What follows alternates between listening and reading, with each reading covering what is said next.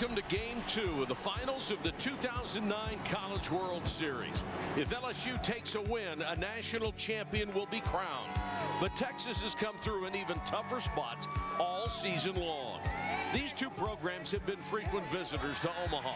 For 59 years, the best in college baseball have met in America's heartland. Will this be the final game of 2009 at Rosenblatt? The gem of a park sitting high on a hill? It's another moment and another memory to savor at the old ball yard.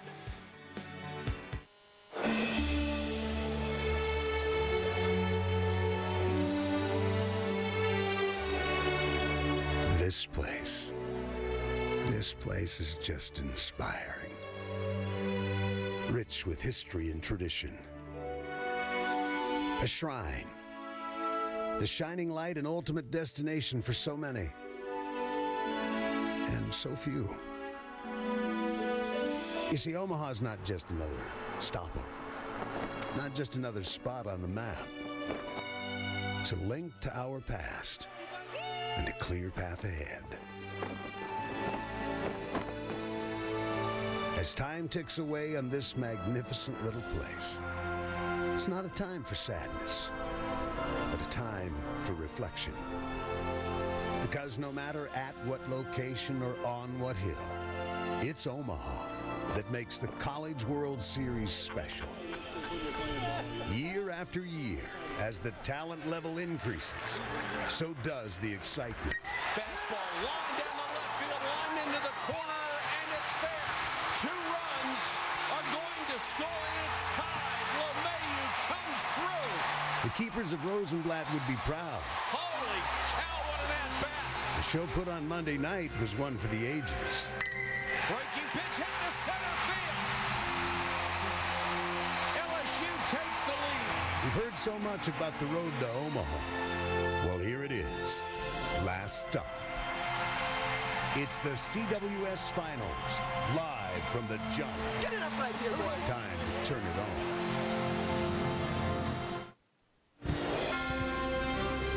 Capital One presents ESPN's coverage of the College World Series.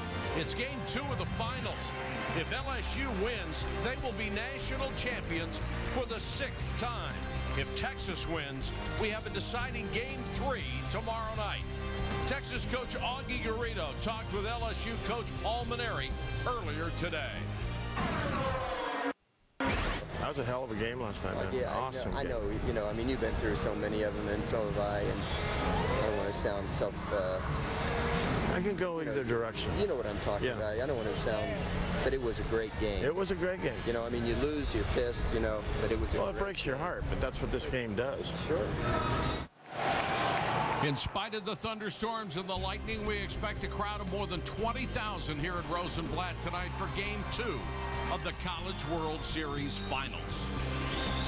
Good evening, everybody. Mike Patrick, Orel Hershiser, Robin Ventura. It's great to have you with us from the Collins World Series. And what a great way to start last night. An extra inning game. And Orel, it was LSU that came through in the clutch. Yeah, in their first three wins, they had averaged the victory by seven runs, so they had to flex their muscle, but in a clutch way. In the ninth inning, DJ LeMahieu came through. They were down to their last out.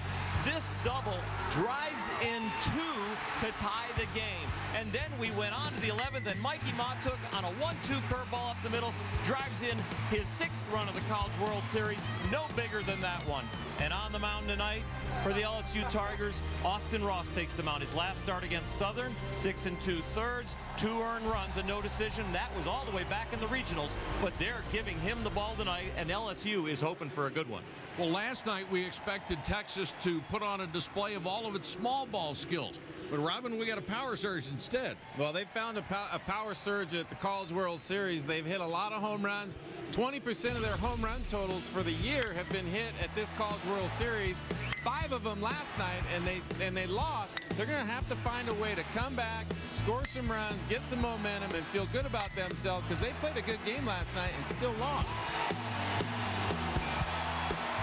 Let's go down to the field. Erin Andrews. Mike, thanks so much. Well, after that tough and dramatic loss for Texas, the players were telling me they were just so exhausted because of the extra innings and also the heat last night. None of them even talked to each other about the loss. They said they wanted to get back into their rooms, rehydrate, and just get some rest. As you guys mentioned, that rain delay today, Texas was in their locker room for about an hour and a half, joking around, playing some games, and as several of the guys told me, they feel like that really benefited them. They were able to get some fluids in them, kind of just break up the routine and just chill out a little bit. Also, the rain, it cooled things off here, which is great news at Rosenblatt. And guys like Cameron Rupp, who was the only Longhorn to get an IV last night, really appreciates the nice weather right now. All right, thanks, Erin. Kyle Peterson joins us after the break. Then first pitch. Will LSU take its sixth national title, or will Texas send us on to Wednesday night?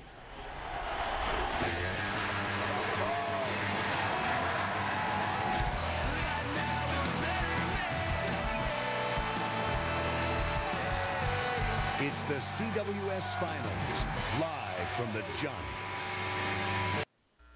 The NCAA College World Series is presented on ESPN by Capital One. What's in your wallet? And in part by Buick. The renaissance continues with the new 2010 LaCrosse. Welcome back to Omaha. After about an hour and 40 minute rain delay, we're almost ready to go. First, down to Kyle Peterson.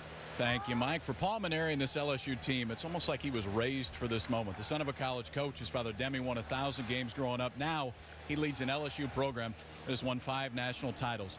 If they're to win their sixth, they'll have to do it against a team that has done just that. Six national titles over the years for Texas, and if he's going to win his first, he'll have to do it against one of the best in the game, in Augie Garrido. If anybody would have asked me before the tournament began, who would you like to meet in the finals, I would have said Texas. Not because I think we have a better chance to beat Texas, but just because of the tradition and the history of Texas Longhorn baseball. And I guess if we're to win our first national championship, speaking of me personally, it's only appropriate that we would have to do it against the winningest coach of all time that's already got five national championships in his back pocket. That would certainly make it special if we could pull it off. And Mikey's got his LSU team playing their best baseball of the year. They lost the opener of the SEC tournament, have not lost yet. They come in tonight, winners of 14 in a row. And Kyle, have they been impressive out here? They have not made an error. They have played exceptional baseball. And Paul Mainieri, one of only two coaches to have ever, or one of four coaches to have brought two programs out to the College World Series. Of course, Augie Garrido has won with two different schools. And Paul Mainieri trying to fill that one blank on his resume. He could do it tonight if he can go 2-0 against the Texas Rangers. And here come the Tigers. I said Texas Rangers. They might be able to beat the Texas Rangers. Who knows? Let's take a look at our Capital One starting lineups. The Longhorns with Torres, Tucker, Belt, Moldenhauer, Rupp, Keyes, Rowe, Clark, and Loy. Moldenhauer couldn't have had a better night well, you're night. looking for a hot hitter. He's three for three last night. Has hit all three of his home runs for the year at the College World Series, hitting them at the right time. Austin Ross gets the call for LSU. Six and seven Bulldog. Well, a very solid college pitcher, a mixed guy completely. The ERA is high because he leaves the ball up sometimes, but he can touch 93. But today, with this win, an odd win for Omaha after, this, after the storm. The wind is blowing in, so high mistakes by pitchers you might get away with. Opponents hitting 300 off of him this year. Here's the defense for LSU. They have been perfect here in Omaha. Landry, Mahtook, and Mitchell. Tremendous speed out there. Helenihi, Nola, LeMahieu, and Schimpf across the infield. Schimpf moves from left field in place of Ochinko, and Gibbs is behind the plate. So we always say you need good defense and good pitching to win out here. How about perfect defense? They've been superb. No champion has ever left here without an error. LSU has a chance to do that. And they've made all the routine plays, obviously, and a couple of spectacular ones. And this is a team that we discovered early in this tournament simply shows no holes in its game. And Texas desperate to find one tonight because they have to win this one. Well, I think they have, you know, they have holes, but you know, you have to find them, and that, and that's the job of Texas tonight is find yourself a hole and exploit it. And with a freshman shortstop, Austin Nola, Paul Mainieri was prophetic, knowing that he had to improve his defense during the season. He put Austin Nola in, and that defense improved, and that was all to try and win a national championship. Here's the weather conditions right now. We expect at least three hours of good weather before anything else comes in. It's 82 degrees. Actually really comfortable right now with a northeast wind, which is unusual here. It's swirling. Most of the time it's been blowing in.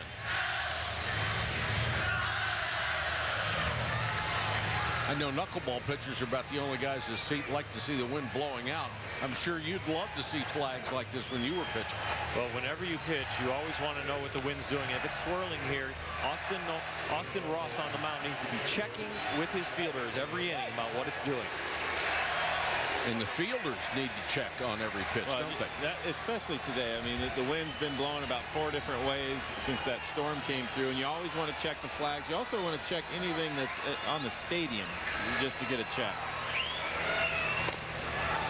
Torres leads it off, a 297 hitter, the starting third baseman for this club. Hasn't done particularly well here in Omaha, only four hits and 19 trips, but he does have a home run. Austin Ross last started on May 29th in the regionals against Southern. He's pitched twice here in the College World Series, both in relief. Once good, once bad. That one's up and in. Joe Burleson, the home plate umpire.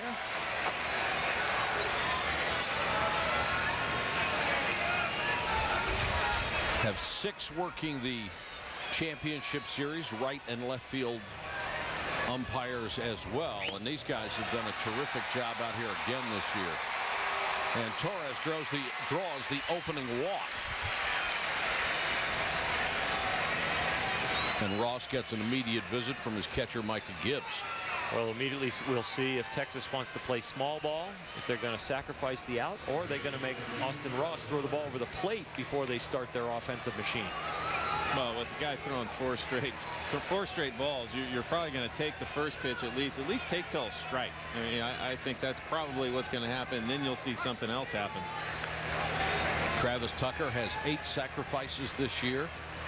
Most of the guys on this club have done a great job, and this one's thrown away down the right field line by Gibbs as he tried to throw behind the runner. Torres made a wide turn and goes back to second base. First error of the College World Series for LSU. Well, that's just a case of a, a bunter bunting through this pitch. He's not bunting. He takes his bat back, and now the first baseman doesn't go back to the bag. He's not really expecting a throw to first base. And sometimes when you get a lot of first basemen, different first basemen, you forget to just go back. And you have to go back to the bag just in case. Ryan Schimpf had played left field for most of this College World Series. He was the late defensive replacement in the shift last night, but he is not the ordinary first baseman. He's the second baseman who moved to left field this year. One and one to Tucker as Ross finally got one in the strike zone. Another one in perfect bunt toward third. Helenihi, nice play, throws him out.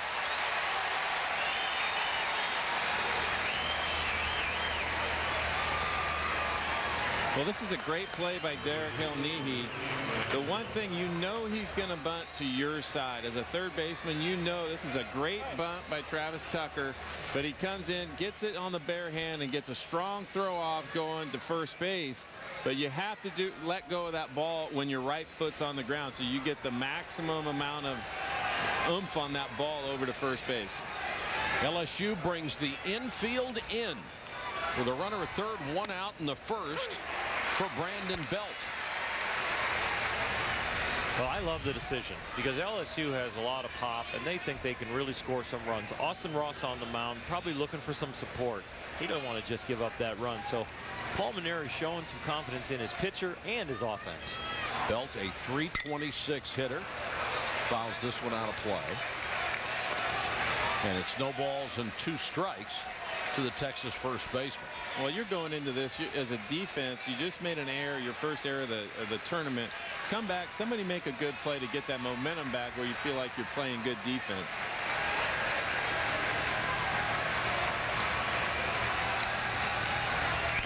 High fastball. A ball and two strikes to Brandon Belt, who has eight home runs this year.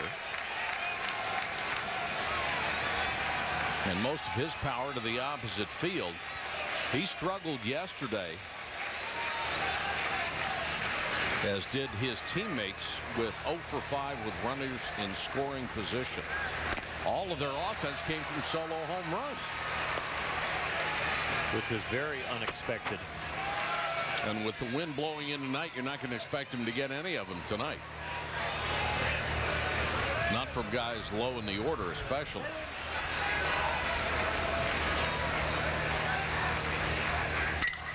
Breaking pitch, base hit, and Texas will take the lead 1-0 on an RBI single.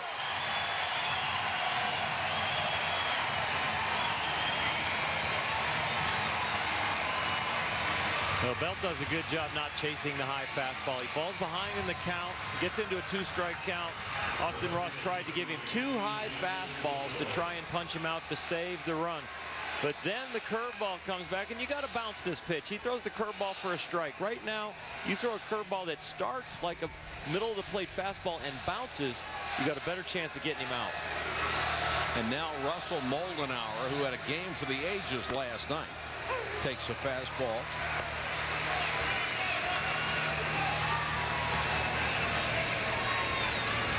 Longhorns have been terrific when they jumped on top this year.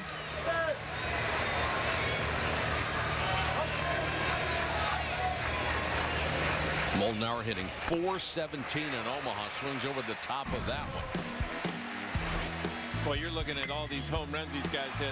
You know, this one right here was just crushed to center field. A couple were windblown, but when you're feeling good at the plate, it just makes your offense that much better going to the plate, especially with an offensive type field that you don't feel like you have to do too much. All you got to do is put it in the air. Moldenhauer has saved all of his home run power for Omaha. Three in the College World Series.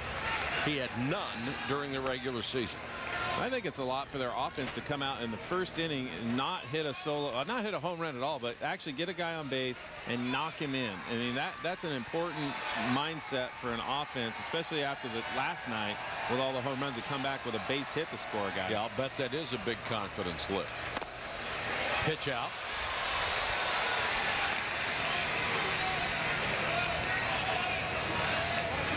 Texas changed its entire offense last night. They score runs out here.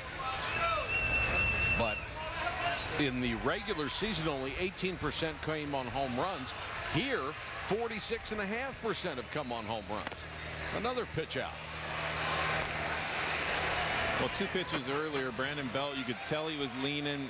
He was trying to read the pitcher going to second base, and he stumbled a little bit before Austin Ross threw to home plate. So now they have two pitch outs. So now would be a good time to go. Moldenhauer is a double play candidate if he hits it on the ground. Texas as a team has grounded into three double plays in the tournament. And Moldenhauer has had all three of them. So Augie Garrido is thinking to avoid that. Belt has 14 stolen bases down at first, so he can run. Grounded to short. This could be another double play, but it's booted. The throw across. Not in time. Austin Nola got the force, but couldn't make the play at first. It's not going to be an error, at least officially, but it's another poor defensive play by LSU. Well, it is a ball. He has to keep that in front of him, and, th and that's the first thing that's the most important, and he does a good job of that.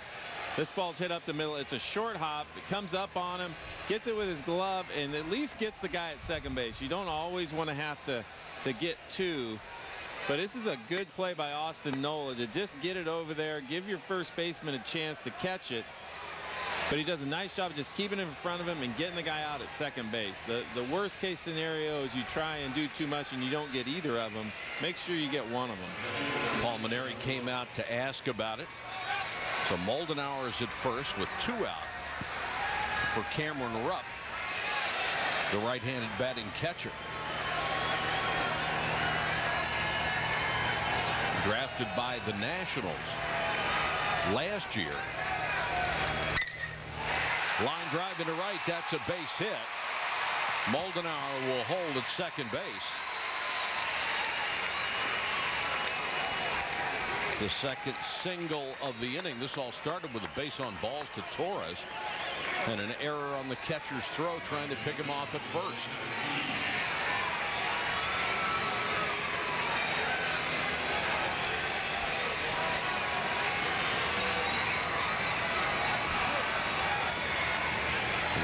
Has been no secret here in the first inning.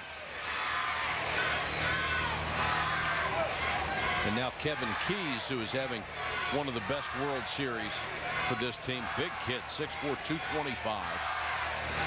Hitting 400 here in Omaha. Takes a fastball at the knees.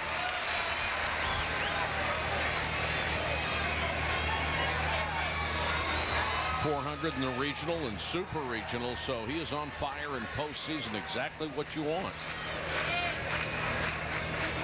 He's a very good low ball hitter. You see where he's taking his little practice swing down there? He's telling you where he likes it. Guys will usually take practice swings for their favorite pitches. Now, I know Robin never did that because he was crafty. I never took a practice swing. That's true. You didn't want to give me any information.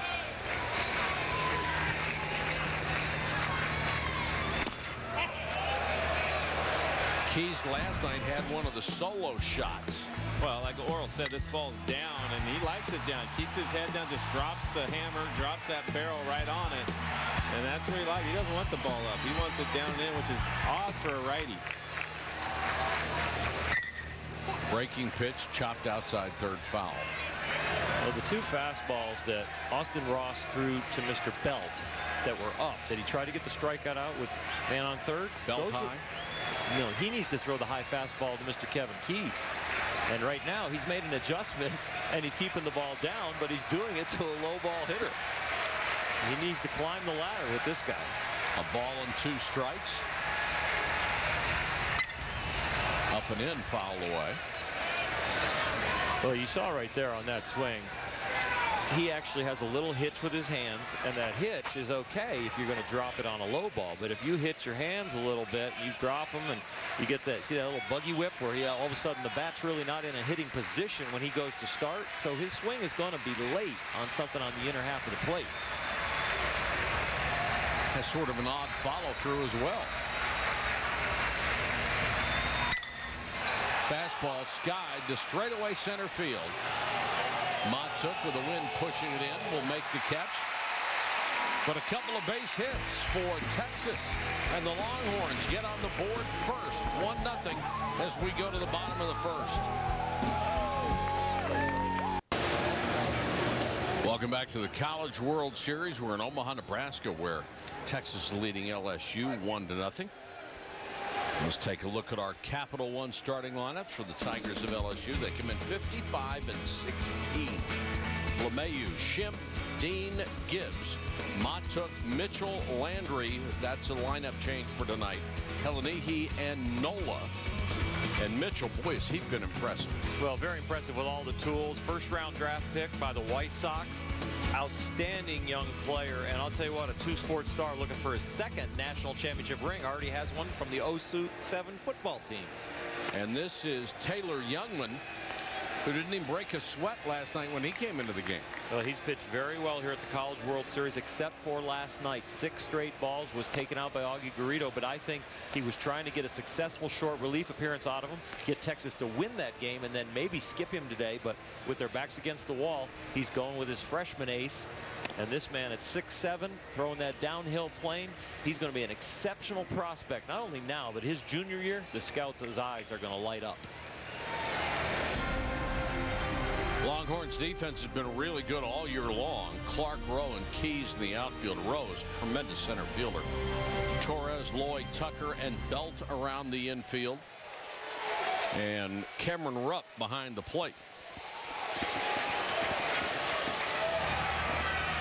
LeMahieu will lead it off against Taylor Jungmann, whose ERA overall 2.21 here in Omaha. It is 1.42.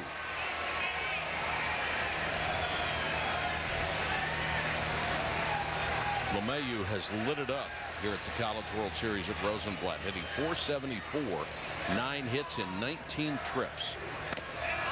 Fastball up and in at 92.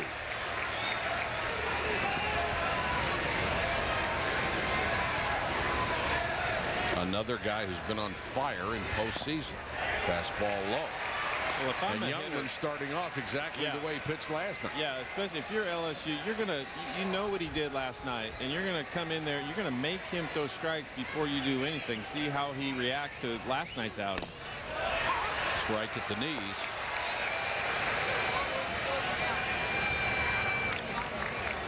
LeMahieu has been right in the middle of everything in the 11th inning. He got on, stole second before Mikie Mahtook, drove him. Fastball chopped toward third. Torres throws him out one gone in the last inning. Close play at first base. Let's listen to Paul Mainieri and first base umpire Steve Manders. Yep. Uh, I said Because the no, was in the dirt? no, the foot foot was on the bag.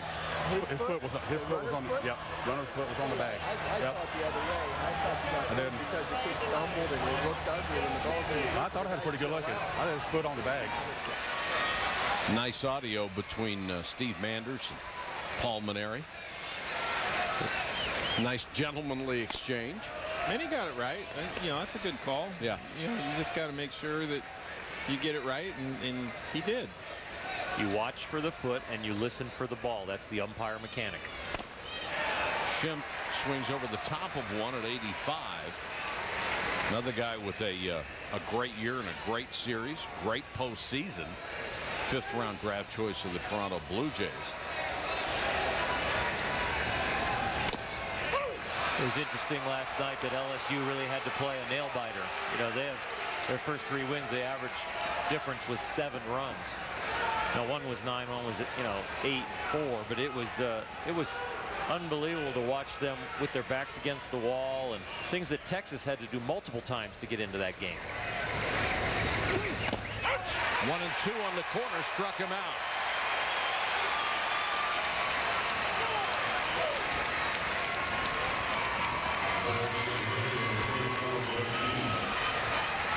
During this win streak, they've had a lot of laughers.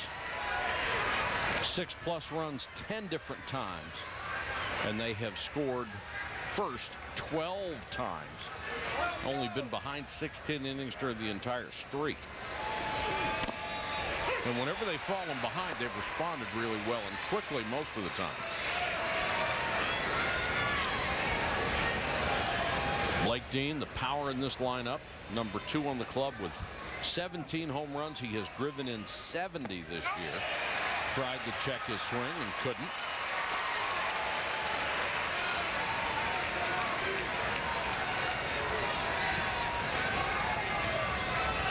Love those beads, don't they? you see- see him everywhere.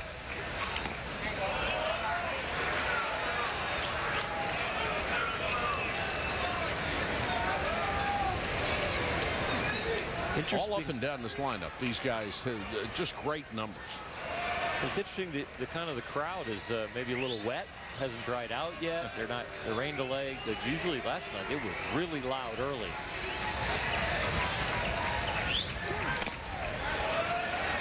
Missed with a high fastball, two and two. Those young men and women were out there cheering for each individual player at times, hoping to get them to come out of the dugout during the rain delay, chanting their names. Struck him out. Fan two in the first inning. LSU goes scoreless in the first inning for the first time at the College World Series.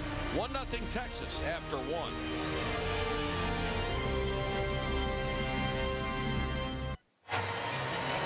Through the tournament, we've looked back at the stars who have made the journey from Omaha to the Bigs. One has gone all the way from Rosenblatt to Cooperstown. Dave Winfield. 1973 was a culmination of a pretty good career at Minnesota. Pitching, hitting, Big Ten champs, All-American. Playing in the College World Series, it's the last chance in the highest level of non-professional baseball. So it, uh, it suited me well and just kind of prepared me for that uh, next step in professional baseball. Drafted high in all three major sports. Even though he never played college football, they thought, why not? Well, he with was- all that talent. Yeah, he was a great pitcher. There's a great story of him pitching, you know, eight innings going out in the left field. And USC started coming back, and they wanted to bring him back in. They were they're going to try and bring him back in. He was such a good pitcher. He said no. He said not today. I'm going to be in San Diego next week. Yeah, yeah. Maybe the Padres said no. As it turned out, pitching was not going to be his forte. Connor Rowe will lead it off for Texas here in the second. We'll see the seven, eight, nine men in the order.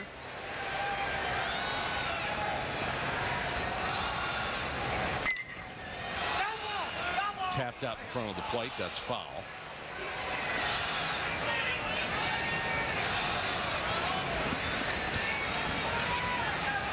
Connor Rowe's, deceptive center fielder. He's very fast twitch guy, quick out there. That equates into a fast twitch at the, the plate. Got quick hands, quick bat speed.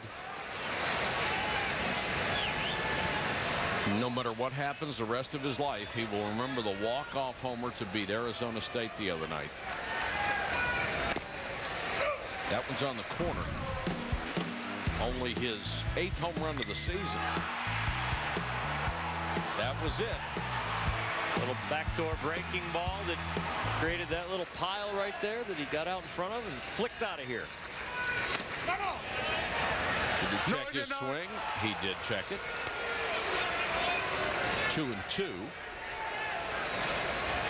Well, this is a slider down and away, and you know he's trying to stay on that inside pitch, and he becomes susceptible to that pitch going away from him. Fastball back inside, a bullet right to Helenihi at third.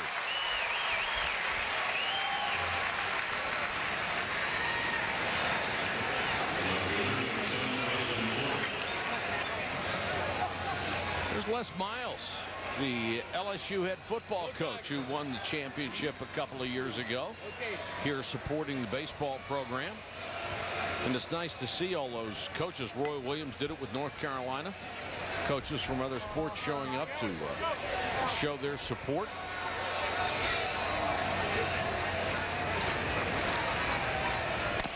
And we're told Les is tweeting. Is he tweeting Kyle?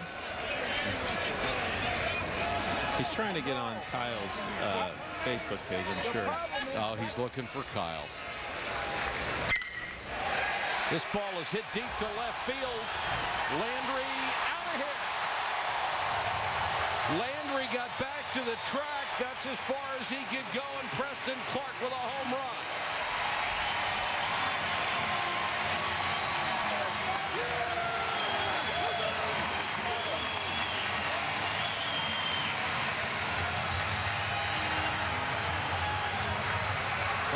Things with having this late start is the shadows aren't very bad.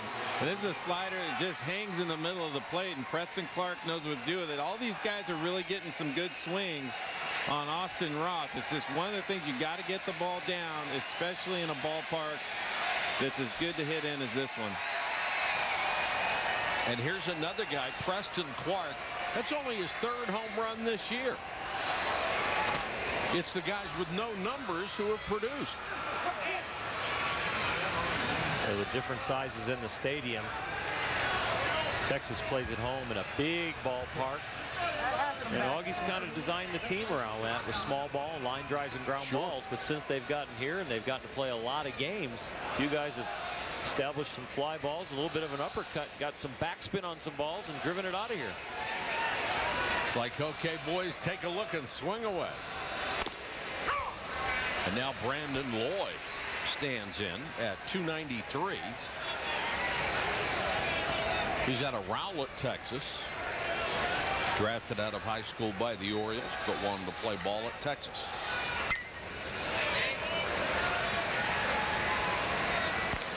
What's ironic is that Les Miles is trying to tweet with Kyle and they're about 35 feet from each other. he could just wave at it. Well, 15-year-olds text each other when they're right next to each other, so that. that was the seventh different Longhorn to homer in the College World Series. Fastball misses here. And Texas knows they're going to need more than two runs to beat LSU. They're just going to try to add on and add on and add on. Breaking pitch down to third. Boy, Helenihi has been good down there. Throws out Loy for the second out of the inning. But we talked about this being a smaller ballpark and a home run friendly ballpark. Look at the power alleys. Much bigger at Disch Falk Field. And the home run disparity 40 games they played to hit 18 home runs. They've hit 12 and only five out here. Well, it's not just the, the distance, it's just the way the ball carries Sure. as well. There's a lot of wind, it's lighter here. It's just a different place to hit. This one's through the hole in the left field for Torres back at the top of the order. He walked in the first, singles here in the second.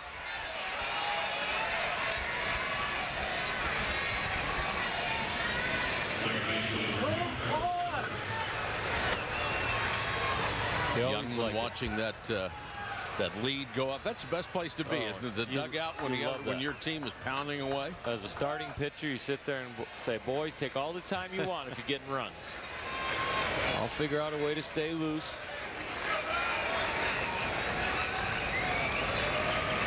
Tucker sacrificed his first time up, hitting 295 on the season, 412 here. Way back.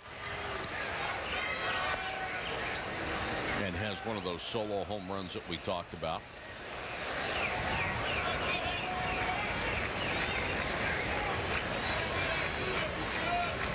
Torres, 12 steals and 13 tries this year if they want to run.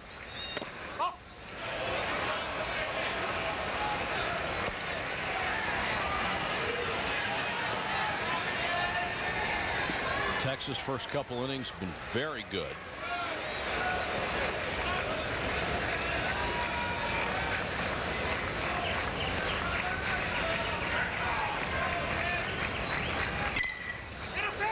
Fouled out of play. This is going to be catcher's interference.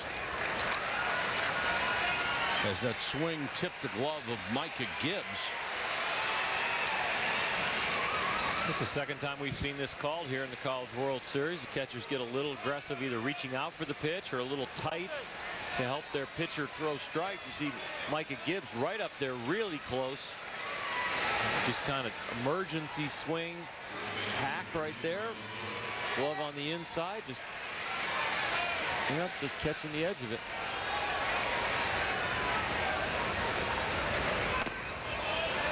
Moldenhauer is in. That's the second of the game. Errors on Micah Gibbs, who was Team USA's catcher a year ago, will play again this year. He's a good one. Unusual for him to make mistakes.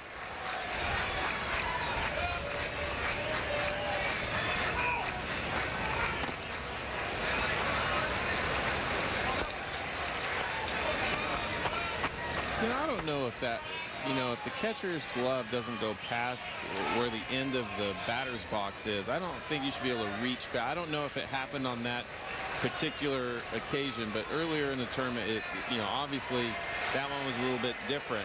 But if he, if he doesn't reach all the way out there and you're kind of swinging backwards, you, you got to have a little leadway. It's an odd feeling, too, when the bat touches the catcher's glove. You're first off, yeah, everybody this? looks around when it happens because Yeah. it's such an odd play that everybody, you know, when the umpire comes out saying, you know, we have interference, you know, everybody's looking around like, on who? It's one of those things you hear two sounds. Fastball right in there. And three and one. And LSU quickly getting somebody ready. That's Nolan Cain, the right-hander. You never want a game to get out of hand early, especially when you have a chance to put it away, but they're in danger doing that right here. Got him picked off. Torres in a rundown, and they got. Torres picked off second base.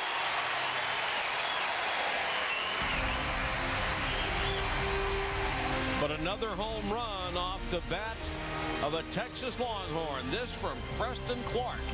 And it's 2-0 Texas.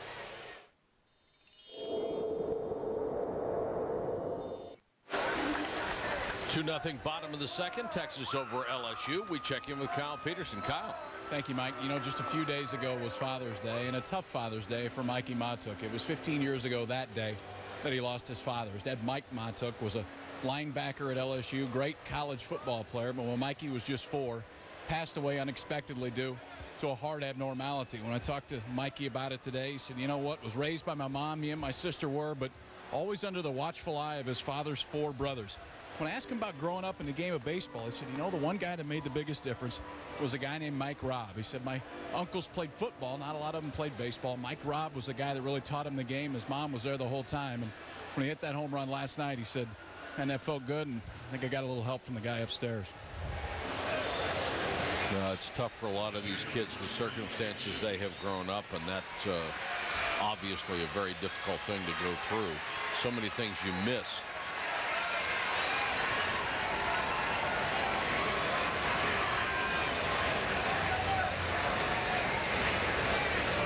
Micah Gibbs, the catcher, leading it off here in the LSU second inning against Taylor Jungmann, who has certainly been impressive so far.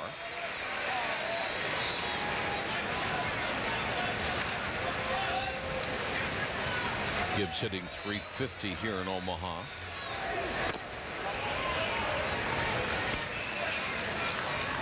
Been a big part of this team. 33 Remind you of Jason Varitek, switch hitting captain catcher. Doesn't have the C on his chest, but Paul Mainieri says he's right in there with one of the leaders. This one's chopped slowly toward third. Torres on the run has plenty of time against the catcher, makes the play.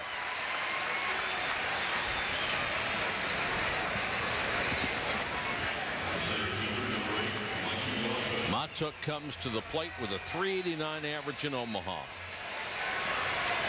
Really wasn't sure he wanted to come to LSU, but mom had to kick him out of the house, get him out of the nest. Really wanted to stay home and be with her.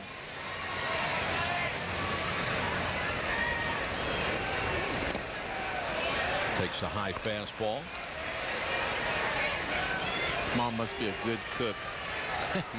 no dummy. they all are down there, aren't yeah. they? His home Lafayette, Louisiana.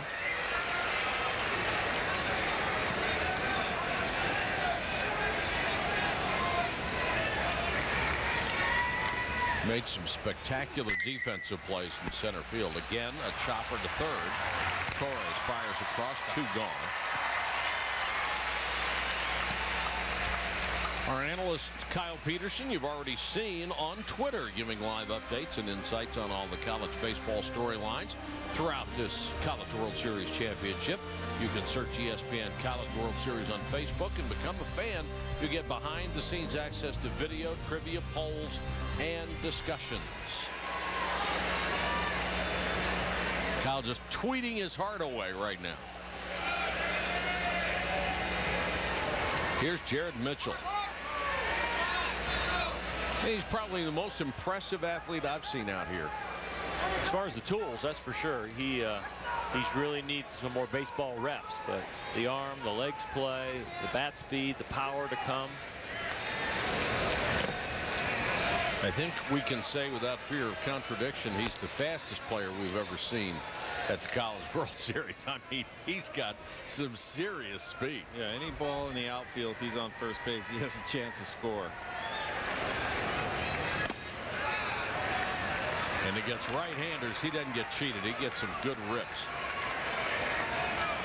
Going for his second national championship ring at the 07 football ring.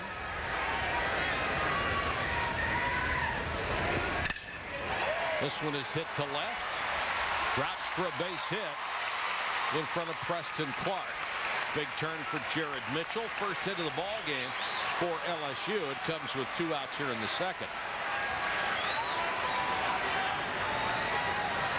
Well, this ball's tailing on the outside, and this that's really important because he has that open stance. You're going to have to go out and get that ball with Taylor Jungmann. He sinks the ball away, and it's important for all these lefties to try and hit the ball the other way and get that out of your mind that you got to pull everything because really his weakness is going to be you're going to take him the other way.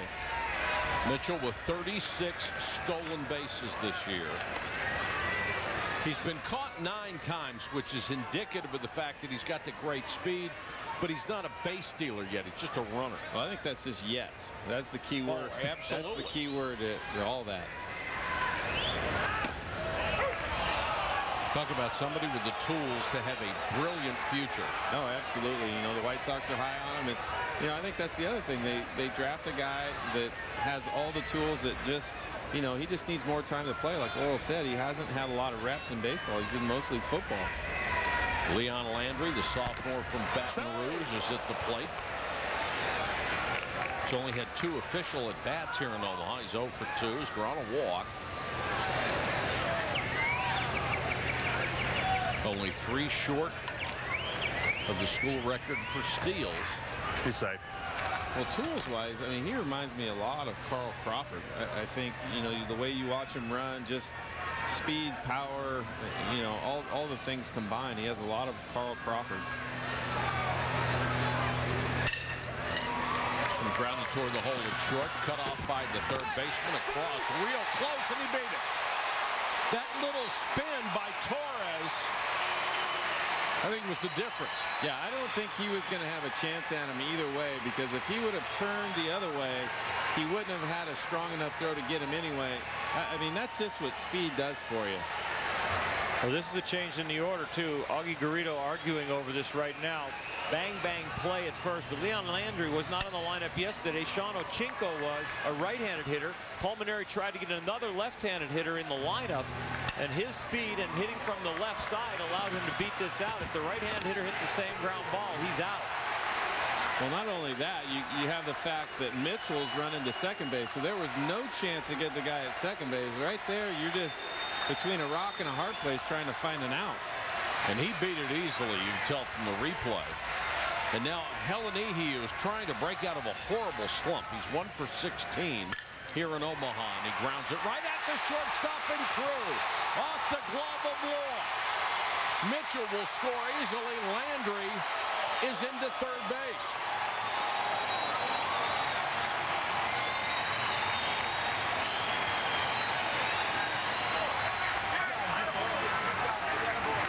Talking earlier about the distance of the ballparks in Texas and this ballpark, but I think the major difference is the ground. They play on a natural surface in Texas, and now you're playing on dirt. And you got to get over there and try and get yourself in front of that. Balls pick up speed in the infield. As soon as they hit that dirt the first time, you're going to get a nasty hop. So you have to keep that in front of you, especially with a guy on second base. If you don't make the play, at least keep it in front of you. Here, Texas Stadium, that field turf, the only dirt at the stadium is on the mound. Yeah, the rest even- of it is a field turf. Yeah, even at home plate, it is all turf. It's just a very odd field, especially, you know, you can play, you get truer hops. Now you go to a grass field, it's different. Austin Nola, runners at first and third, two out. Chased the breaking ball and didn't get it. 0 2. It's a hard hit ball by Helenihi. It's an error on the shortstop. So both teams with early miscues.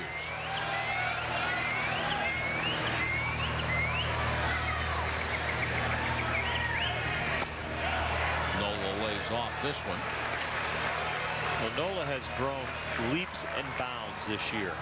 So freshman shortstop started on the bench, observing, was inserted into the lineup for defense, and his averages continued to climb, and his comfort at the plate. Paul Mainieri thinks someday he probably hit third for his team. He sees that much as far as his intelligence, the way he has savvy for the game, and Paul really likes this kid. He's a high top recruit. And with a winning university, Paul had enough confidence to insert a freshman into his starting lineup midseason. That was part of the lineup change that really jump-started their late season run.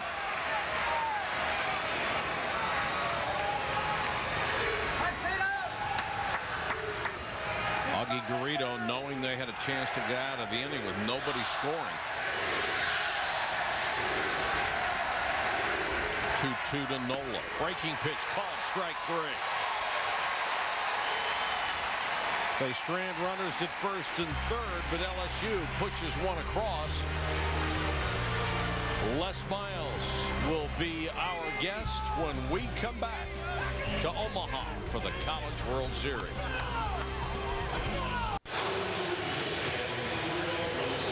We start the top of the third with Texas leading two and one, and we check in with Erin Andrews. Erin. All right, Mike. Thanks so much.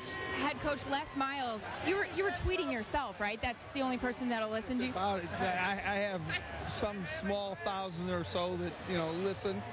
We showed it on Sports Center last night. Family. Absolutely. Coach, honestly, there's really nothing like Tiger Stadium on a Saturday night, but you're here at Rosenblatt, pro LSU crowd. What do you think of this place? This is uh, this is a great environment to play a big game, and it's it's LSU passionate. I mean, I'm certain that the Texas Longhorns are here, but we just don't feel them. And uh, but uh, games down a run, key piece of the game coming. I, I like I like where we're at. Got a couple of guys on the team. Mitchell, Landry just got a few hits. What's it been like watching them back at home play here in Omaha? It's really neat. Our, our football team follows them very closely, and you know, anytime that any of those guys, whether Chad in pitching or Jared gets a hit, our, our team's all over it, and it's uh, there's a real close relationship by you know by from the football team and the baseball team, and it's uh, it's really neat. It's nice to see an athlete have the opportunity to achieve at the very highest level in two sports. Right. Serious talk, though. Come on. When Paul Mainieri comes into your office, and we all know how intense you are, hey, Les, I need to borrow a couple of guys from the football team. I got to take them out of practice. What is your reaction, really? Well, it didn't quite go like that. I just want you to know. Uh, we recruited guys that played baseball, and they wanted to play baseball, and so we wanted to give them that opportunity, and it, it wasn't that hard. Paul Mainieri is a wonderful man and a great coach, and it's it's easy to work the schedule out. What are you going to tweet about this interview? I mean, do I make a passing grade? Do I get one or what? I beg your pardon? Do, what are you going to tweet about this interview? Do I get a passing grade or what? Uh, one of the enjoyable moments in the third inning. Thanks, Coach. Appreciate it.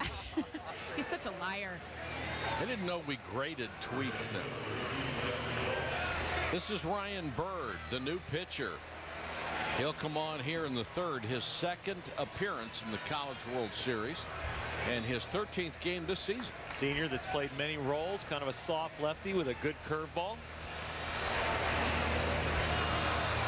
And he'll face Brandon Belt, who was on base when Michael Torres was caught stealing as they picked him off of second base. Belt four hits and three driven in here in Omaha. Started his night with a single back in the first inning. Breaking pitch popped up. Helenihi on the grass makes the catch. I think tonight you might be in for a Johnny Holstaff night for, for LSU. I think you, you were expecting Austin Ross to go a little bit further. Well, Anthony Ranaudo is their guy that could have went tonight on three days rest, but he'll go tomorrow if there's a game, or maybe late in this game if they're ahead and Paul Mainieri thinks they can put it away. He's one of their aces that has had a bumpy outing and a good outing, and they think he is back on the beam and ready to go. You know, if they use him for a few pitches in relief tonight, will he still be able to go in game three as a starter? Yeah, it'll be like they're doing with Taylor Jungmann over on the other side with Texas Right. tonight, having him pitch. But Ranaudo. Paul Mainieri was a little bit afraid of the heat and bringing him back on three days rest. We had guys cramping. We had Mikie Mahtook taking IV during the game. Fortunately for LSU at that time, they had a long inning, were able to get it in them. But three days rest, College World Series, a big last outing. I think Paul Mainieri made the right decision in getting him out there and fully rested or in relief tonight. Of course, with the rain delay and the rain that we had, it cooled off considerably here. Tomorrow is also expected to be very warm, although not as blistering as the last two days have been. Well, this is comfortable right now. It this is. is very nice compared to what it was when they were going to actually take their normal BP. It was about 100 degrees, and you know, that storm came through here, and, and, and now it's about as comfortable as you can get. It's perfect. Three balls and a strike to Moldenhauer. And he clobbers one to right field. That baby is a mile out of here. Well, how about Russell Moldenhauer? No home runs during the regular season. He comes to Omaha and says, I like this place. Four home runs at the College World Series.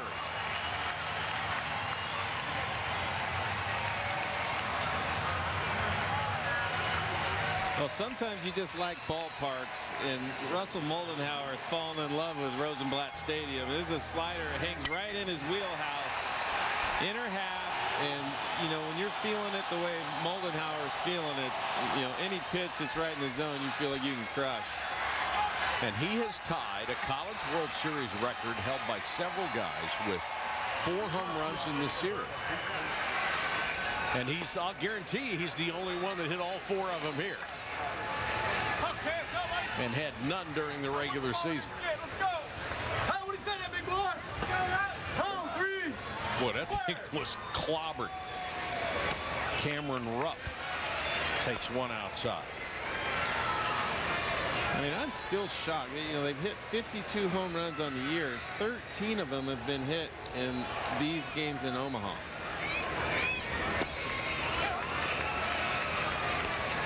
Last three at-bats Moldenhauer's had have been home runs. He was lifted for a pinch hitter last night, remember? Well, hopefully the Royals get him, but if they don't, at least the Omaha Royals should get him.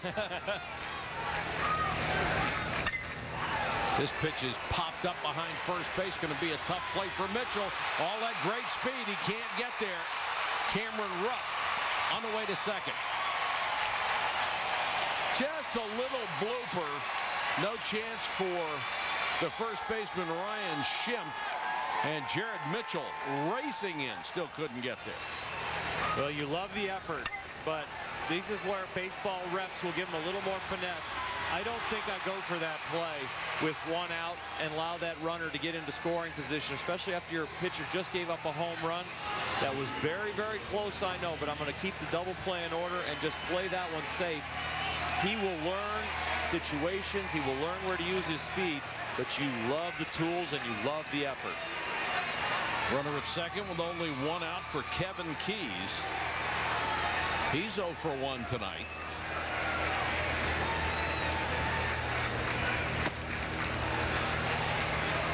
Texas answering that LSU run in the bottom of the second here as they bat in the top of the third. Is there such a thing as speed not being your friend? Yeah, there could be. There could be. But I think he's got, even when he runs bad routes, he's going to catch a lot of balls until he learns how to run good routes. Because he has that kind of speed that he can outrun a ball. He just outrun it.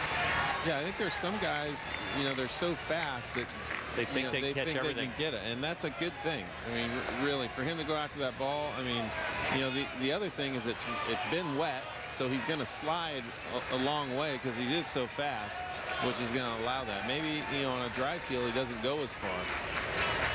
Les Miles getting a lot to tweet about. This one is hit to deep right. Mitchell back on the track. He'll make the catch about two steps from the wall. Cameron Rupp will advance to third. Keyes gave it a ride, not quite far enough. Now two outs. Well, I was going to say this is a bad matchup for LSU. That low ball hitting outfielder. And it, he drives it out there. He does a good job getting back quickly, using the speed. He didn't have to get all the way back. He didn't time it. He got under it, ran to a spot. It was very good outfield play. Yeah, he's already got that idea that he can't drift back. He's got to get to a spot and be comfortable with it. Even set himself for the throw pretty well. Two outs now for Connor Rowe, who lined hard to the third baseman. This time he lines it by the third baseman.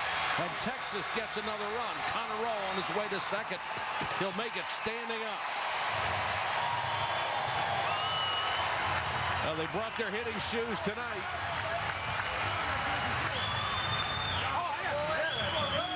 Rupp scores 4-1 Longhorns. Well, you're worried about all the home runs. You got to be able to knock in a run. And Connor Rowe right here gets a down and in slider and keeps it fair. You really got to get your hands through the ball to be able to keep that fair. It's not always that easy. Sometimes you pull that thing foul, but he does a nice job pulling his hands through, keeping it right inside the third base bag. Preston Clark stands in with a runner at second. Clark homered back in the second inning to left field. And now Paul Mainieri wants him to stall a little bit as Byrd is getting roughed up. Cain is back up and warming. And that may do it for Ryan Byrd.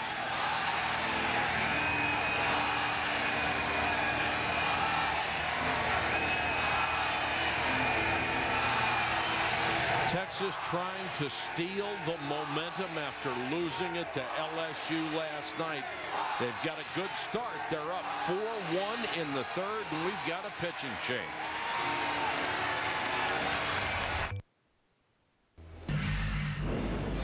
John Kruk, I'm Karl Ravech. Your Baseball Tonight Extra takes you to Isotopes Park in Albuquerque, New Mexico with John Kruk.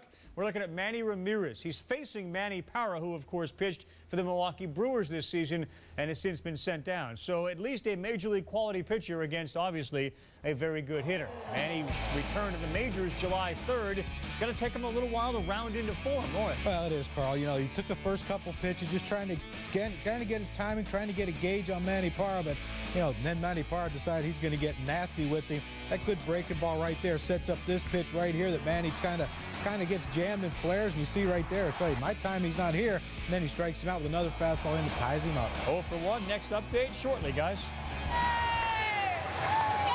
Looking at uh, Manny Ramirez in his first at bat with the Albuquerque Isotopes. You got to love that nickname.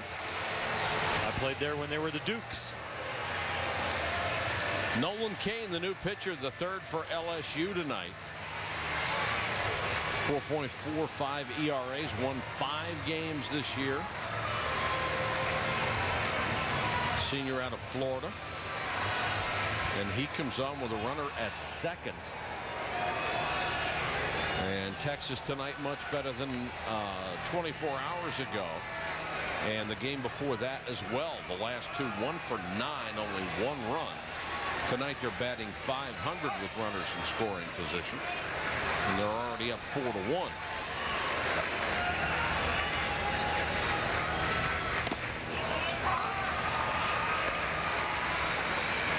Right now, Paul Mainieri just trying to piece together some pitchers to trot out there.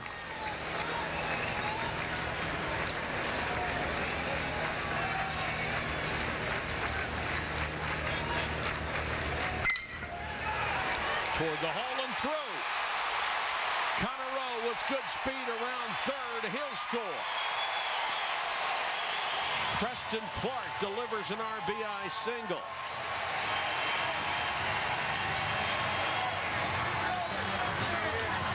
Well, LSU has had pitchers on the mound so far tonight that need Texas to get out of the strike zone to make outs. These pitchers have had not had good enough stuff or location to get people out in the strike zone. Hanging breaking balls, lazy breaking balls, high fastballs. And you could say, oh, the odds were against us. That ball hit the hole, but it still hit pretty hard, and they're hitting the ball hard often. So they're due to find some holes. 50 base hits for the Longhorns in four games out here in Omaha. 21 of them have been home runs.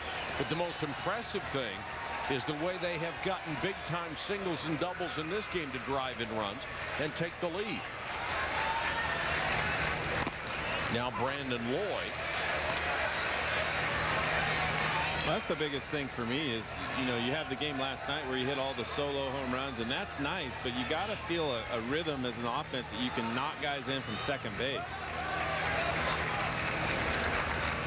Those 21 extra base hits, not home runs, eight of them doubles, 13 homers. And this shows a lot, you know, for them to lose a tough game like they lost last night and to come right out of the chute in the first three innings, putting runs up in every inning, shows a lot of moxie out of this group.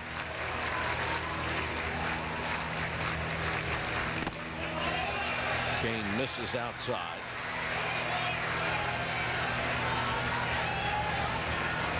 The one did Augie Garrido say yesterday, we just find a way. That's the way it's been all season long. Find a way to win.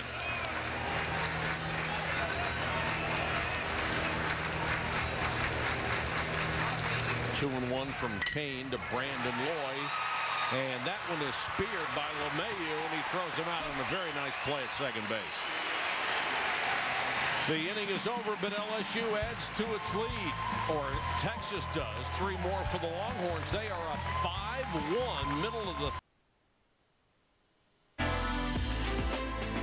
the prestige and the expectations that go along with the University of Texas baseball program. It's almost like if you go, you know, four years at, of college baseball here and don't get a World Series, it's almost like a failure.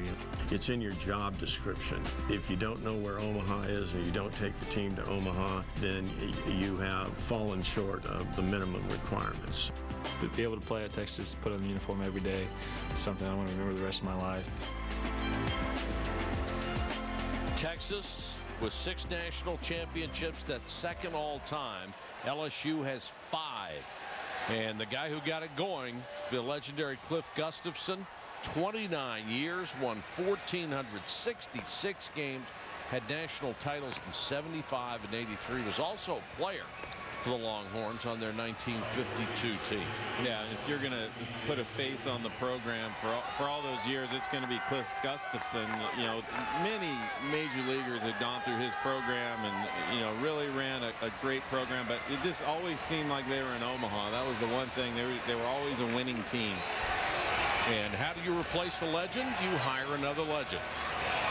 And they did in the person of Augie Garrido. They got him away from Cal State Fullerton, where he won three national championships and picked up two more in Austin. And is now the winningest college baseball coach ever. DJ LeMahieu leads it off in the LSU third.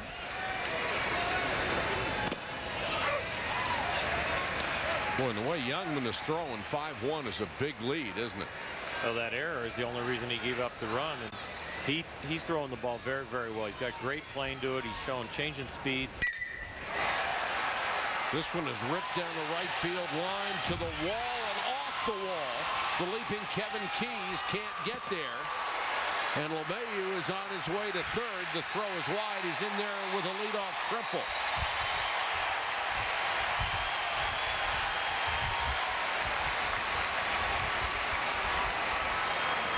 Well, DJ LeMahieu, this is a ball in the outer half, takes this the other way. Not trying to do too much, but he's got a lot of power. I mean, he showed it earlier. Kevin Keyes trying to go back and get this ball.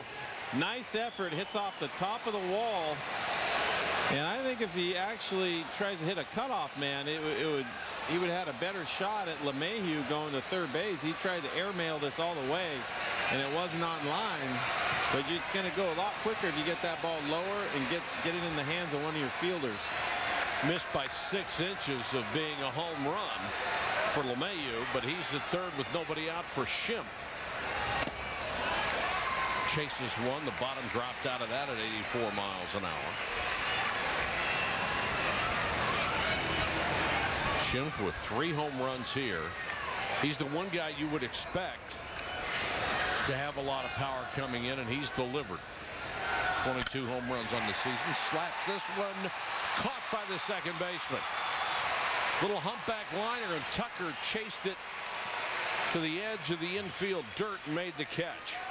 Well, comparison to two swings on two exact pitches to opposite sides of the plate hitters.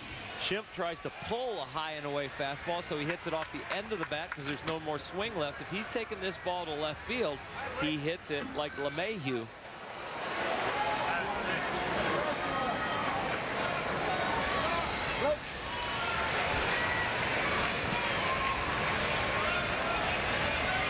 Blake Dean trying to get the run home from third with one out. Grounds it foul outside first. He was a strikeout victim his first time up. Well, with the infield playing back, they're giving you the run. You got to make sure that you're going to either hit a ball on the ground or at least hit in the outfield. But hit it up the middle, give LeMahieu a chance to score. Don't hit anything at a corner that's going to be able to come in and get the guy at home plate. When this kid gets his pitch, he doesn't miss it. And his best swings, yeah, his best swings are actually to left field. He's had a lot of winning hits, and he's had a lot of good at bats with guys in scoring position trying to go in that left center gap.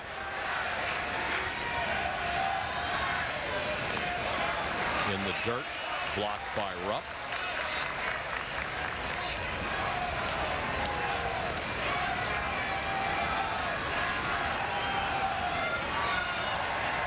LSU, although the sample is small for tonight, 0 for 2, 16 for 49 is great, just shy of 333.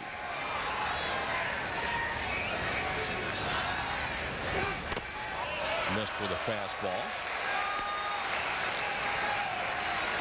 Three balls and a strike to Blake Dean with Micah Gibbs on deck.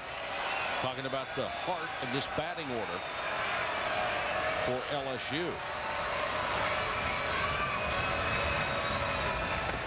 Walked him. It's not good pitching for me. You're up four runs. You don't want to, you know, walk this guy, set up the double play. You trade an out for a run right there. You don't have to pitch around him or pitch backwards or try and fool him. You go right after him. Take a five to two lead with two out, nobody on. Don't set the table for a potent lineup. Well, it was a good at bat for me for, for Blake Dean. Those are sliders at your back leg. It could be tough pitches if he's trying to come out of his shoes and hit a home run. He's staying in the middle of the field and is able to take that. So that's a good at bat on one hand. The offensive side. Micah Gibbs now.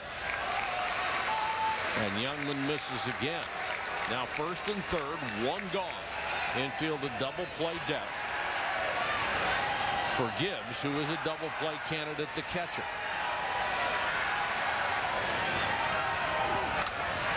Fastball fouled back.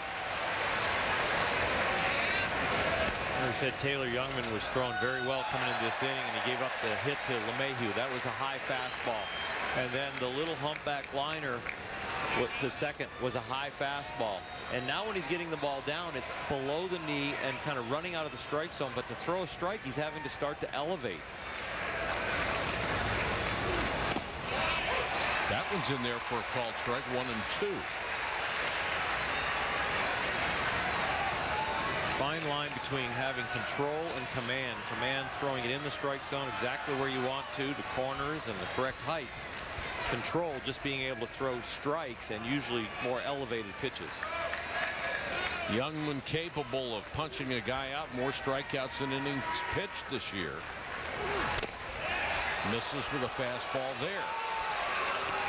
I think that's one of the things that he probably has the confidence that he feels he can get away with that walk is he can strike people out. And, Yes, and, and sometimes you have that confidence. You know, you don't care. You just want to make pitches that are going to strike hitters out. And if you walk them, you walk them, but come back and, and try and throw it again. Swing and a miss. The fourth strikeout tonight for Taylor Jungmann and a big one there to Well, get the second out of the inning. The breaking ball early in the at bat for a strike set up that strikeout. That fastball looks like it could come out of the same window for the called strike breaking ball that he took earlier that was a kind of a cookie. But right there, the four-seamer blown by him. Now it's up to Mahtook, who grounded out his first time up.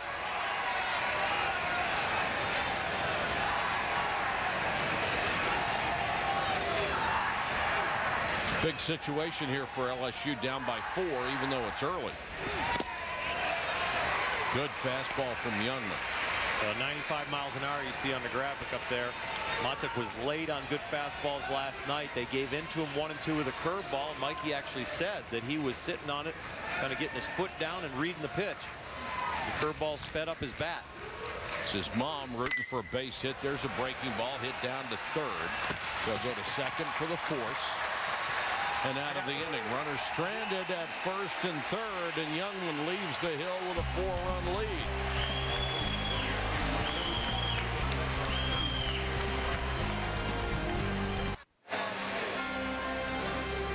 Welcome back to ESPN's coverage of the NCAA College World Series presented on ESPN by Capital One. Now it's time for our Coke Zero Game Track. 5-1 Texas after three. Moldenhauer has homered three times here in the finals, including tonight. Clark also homered. And Jungmann has given up only three hits in the first three innings and fanned four.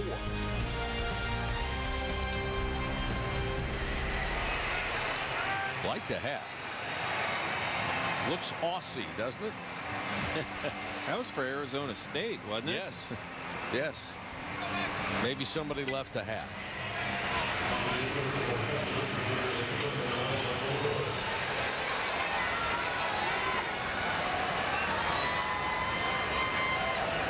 For Texas, we'll go back to the top of the order. Michael Torres, who has a single and a walk tonight and has his average for the College World Series up to 250. Facing Nolan Cain, the third LSU pitcher of the night.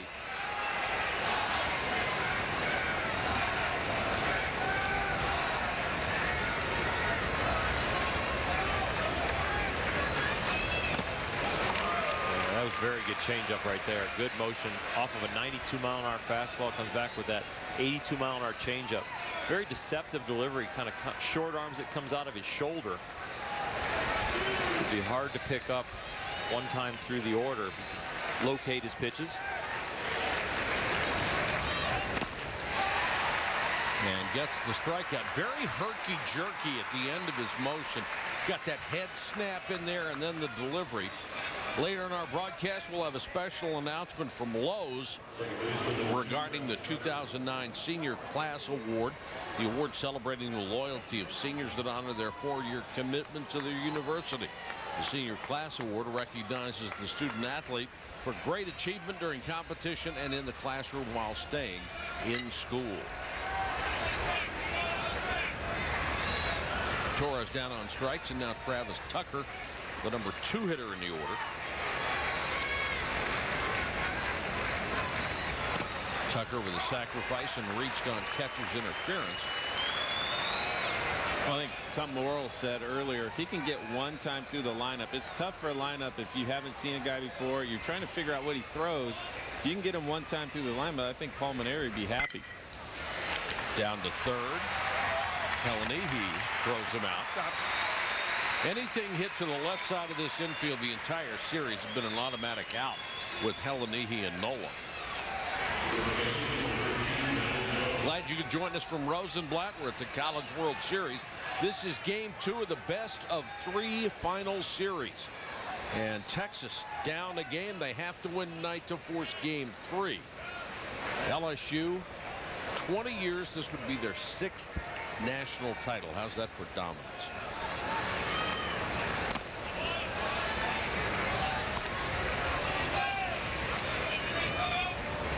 Brandon Belt one for two tonight popped up and singled. Fifth round draft choice of the Giants. You know, some guys you look at and you just see that they're going to fill out. And then also you're going to see that they have tools, bat speed.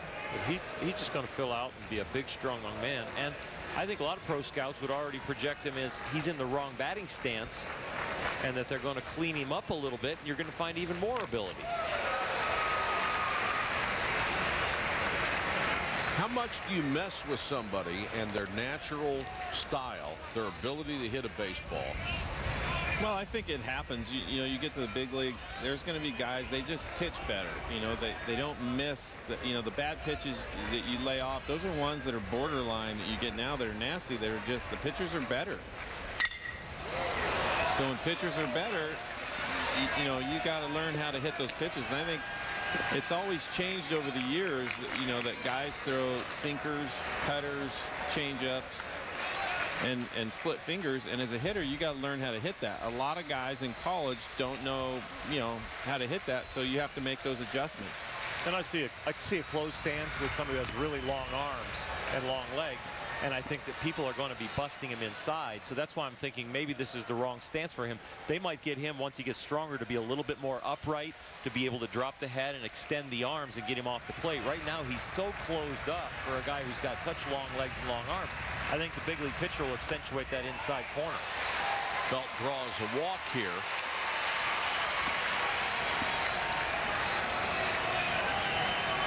They'll get Moldenhauer to the plate, and he has been on a tear. Last two ball games, three home runs and a single. Well, he's kind of got a groove swing right now. You see all those swings really look like the same thing. Kind of a low pitch out over the plate, and he put a little uppercut on him. He practices to, to fight the uppercut that right there with the upper hand. But when he goes to swing, he's been dropping that back shoulder with a slight uppercut and really launching some balls. He was drafted out of high school by the Angels. Takes this one low. Well, let me take you back in the day. You're talking about stances. Nobody messed with Musial.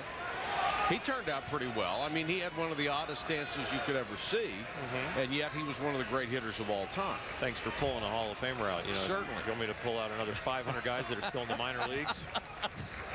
I'll stick. I'll stick with Musial. I'm happy with my choice. Ground ball to short. On to first. They finally get Moldenhauer out. The inning is over. We'll go to the bottom of the fourth. Still 5-1 Texas. Welcome back. Our score here at the College World Series. Texas over LSU 5-1. Now for a Home Depot coaching clinic. Here's Robin. Well, we saw two different stances in our last two hitters. Brandon Belt was going with the closed stance. He was really closed on. What Orel was talking about, the professional pitchers are going to try and exploit the ball on the inner half and bring it back over, kind of what they call a front door. They're going to start at your front hip, bring it back over. So if you're closed off, your first reaction is to flinch, which is now going to allow them to bring that ball over the inside part of the plate. And to try and get to that pitch, your bat's going to have to come all the way back around to get it. So this is where you're really vulnerable. If you're going to go with the open stance, you're going to be open to try and protect against that. Now the backdoor slider and the sinker away are going to get you because you're so open that you're going to have to hit it out here. So you're going to have to be open to close to go to the outside pitch and be vulnerable on the inside pitch. Oh, as you look at the video, Brandon Belt right here, you see the close. I can see his back leg from his front leg. The hips close, the arms are long. That ball, you see, he just wants to flinch with the hip, and then the hands go out away. And then the open stance, you see the back leg, open stance there. He's looking for that ball in, and he's got to stay on the ball away. That pitch he took right there, and he did a real. It was a really good take. It just wasn't something he wanted to swing at. Bottom of the fourth, and Jared Mitchell will lead it off. Facing Taylor Jungmann. Then there were guys like uh, Robin who were not vulnerable to anything. And he was a pretty good hitter. And the deceiving thing about Robin was his swing was so smooth that he still generated a lot of power. And we see a lot of that where guys are just so smooth. I thought that Dustin Ackley for North Carolina, one of the greatest college hitters we've seen in a long, long time. Very smooth at the plate, but still generates a lot of power. Kind of George Brett-like, uh, Raul Ibanez-like, Carlos Beltran. Well, we we marveled at his numbers. He was hitting, I believe, when he left here, when they were eliminated in the College World Series, was hitting 420, 400 for his career. But Robin, you beat that. I was lucky. I, you know, No, I, I think, lucky. you know, he, he had a lot more power. I didn't have that kind of power when, when I was in college. He was able to drive the ball and, and really hit the ball the other way and pull the ball. I wasn't really good at pulling the ball. It was something I learned once I got in, into professional baseball to be able to pull the ball with power, and it's more of a technique. And, you know, I wasn't a real big guy, so I had to learn a technique to actually be able to hit a ball out of the ballpark. Career batting average at Oklahoma State. I some 428. It's pretty doggone good. That's career. That's some serious eye-hand coordination and then putting, you know, a lower half with it to keep your eyes stable to be able to keep hitting that ball at that level. Well, the one thing I had going for me is I had a big rear end, and that helps it hitting. Stabilizing. Yeah, absolutely. And it helps me sitting in this chair up here, too. It- you know, I, can, I can sit up here for these very long games. I'm okay. You're padded I'm well? okay. Everything's going no fanny okay. fatigue, huh? No, we were looking, if we go extra innings, I'll be all right. Jared Mitchell drew the walk. He's about the last guy you want to give a free pass to. A little conference on the mound broken up by the home plate umpire and now Landry stands in. He singled his last time up. His first hit here in Omaha. This is the young man who lost his job early in the season as the starting left fielder. Been a pretty good reserve player for him. Hit on the ground to short. To second for one on the first. No chance to get Landry with that speed. But they do get the force out. And the speedy Mitchell is retired. To keep up with all of the NCAA College World Series stories, log on to NCAA.com, the official online home for all of the 88 NCAA championships. So Landry aboard with one gone for Helenihi. And you better believe defenses feel a sigh of relief when Mitchell's no longer on base. If he's at first, a single in the gap is a run. But Landry's that kind of speed too. Yes, he is. so it's pretty even trade. It's a little odd for me that Landry swung at the first pitch after getting a leadoff walk and down by four, especially when you haven't had many at bats here in the College World Series. Might be a little antsy. You know, you got to prove that you deserve to be in there. This side. Landry has to dive back. He has nine steals this season. Which you don't look for LSU to be running right now, down by four runs in the fourth.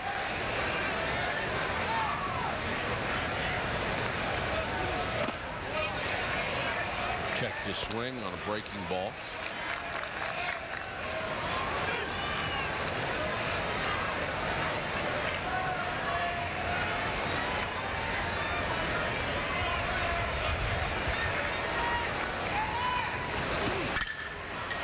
Towards second. Could be two. Nice stab onto second. What a double play. Travis Tucker with the backhand. The little flip to Loy. He starts the 4-6-3 double play. Texas defense ends the inning. Very nice.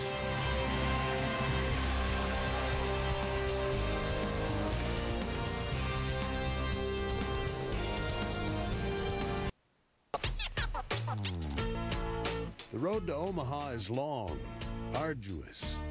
Destination, a national title. But nothing is set, so don't forget to stop and see the sights. Because you never know what you might miss. Omaha, Nebraska. We're entering the fifth inning in a four-run game. 5-1 Texas with a lead over LSU. Down to Kyle Peterson with Paul Mainieri. Thank you, Mike. Paul, maybe a little different start today than we thought we'd see. Not a lot of errors coming in. One to start this inning, but I want to go to the mound first. The decision was between Anthony Ranaudo and Ross today. You decided to go with Ross. Is it something right now you think at and maybe think about the decision? You know, I didn't go with Ranaudo, Kyle, for one simple reason. He's only on three days rest. He hadn't pitched on three days rest all year, and I thought it was going to be 98 degrees like it was yesterday. And I saw that heat really melt Coleman yesterday, and I thought Ranaudo might go out there and on three days rest and give us three or four innings. I didn't think that'd do anybody any good. So, you know, we went with Ross. He didn't make a lot of good pitches. We tried to change things up, and it got it, you know, gave up a couple more, but we got a lot of baseball left to play. So how about offensively against Jungmann? What needs to happen at the plate? Well, we, we had a leadoff triple and didn't score a run. We need to take advantage. We had a leadoff hitter on base there, and unfortunately, being behind in the score, you just don't want to run into outs, and we hit into a double play. So a lot of baseball left to go, though. All right, Paul. Thanks. Thank you. Thanks, Kyle. It's a 5-1 Texas lead here in the fifth. It'll be Cameron Rupp, Kevin Keyes, and Connor Rowe to hit against Nolan Cain. Now working his third inning out of the bullpen as the third LSU pitcher. He's done a nice job. He's been very good so far. He's mixed his pitches. He's actually changed speeds, changed locations, and he's actually pounded the strike zone.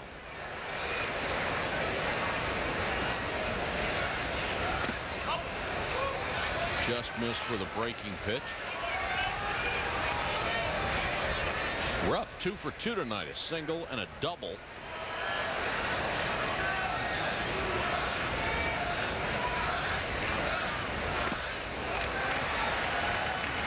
Did he check his swing? The home plate umpire no. called his swing.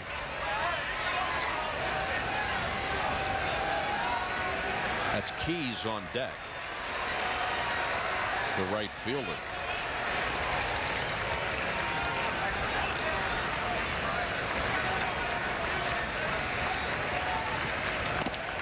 Swing and a miss. Got him. One out in the fifth. Tomorrow night, of course, the College World Series presented on ESPN by Capital One will continue if necessary at 7 Eastern. Game three on ESPN between LSU and Texas from Rosenblatt Stadium in Omaha. And right now, if the score holds, it will be necessary. LSU won the opener last night. Texas with a four-run lead here in the fifth. Missed high to Keyes, another breaking ball. Keyes has been out twice on fly balls, one to center, one to right.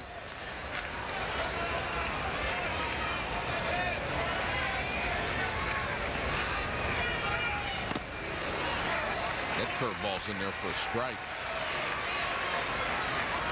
Well, Cain's got that rocking chair going now, doesn't he? Well, his delivery is very herky-jerky, knees, elbows, shoulders angled, and then he finally lets it all come out, and he hides it really well. Chopped foul. Well, anytime you get a guy that's herky-jerky as a hitter, you're looking out there, you're just trying to find where the release point is, and there's a lot of movement, knees, glove. You, you know, all you really want to do is time it and find the ball, and, you, and that's the hardest part, is he's trying to hide that from you.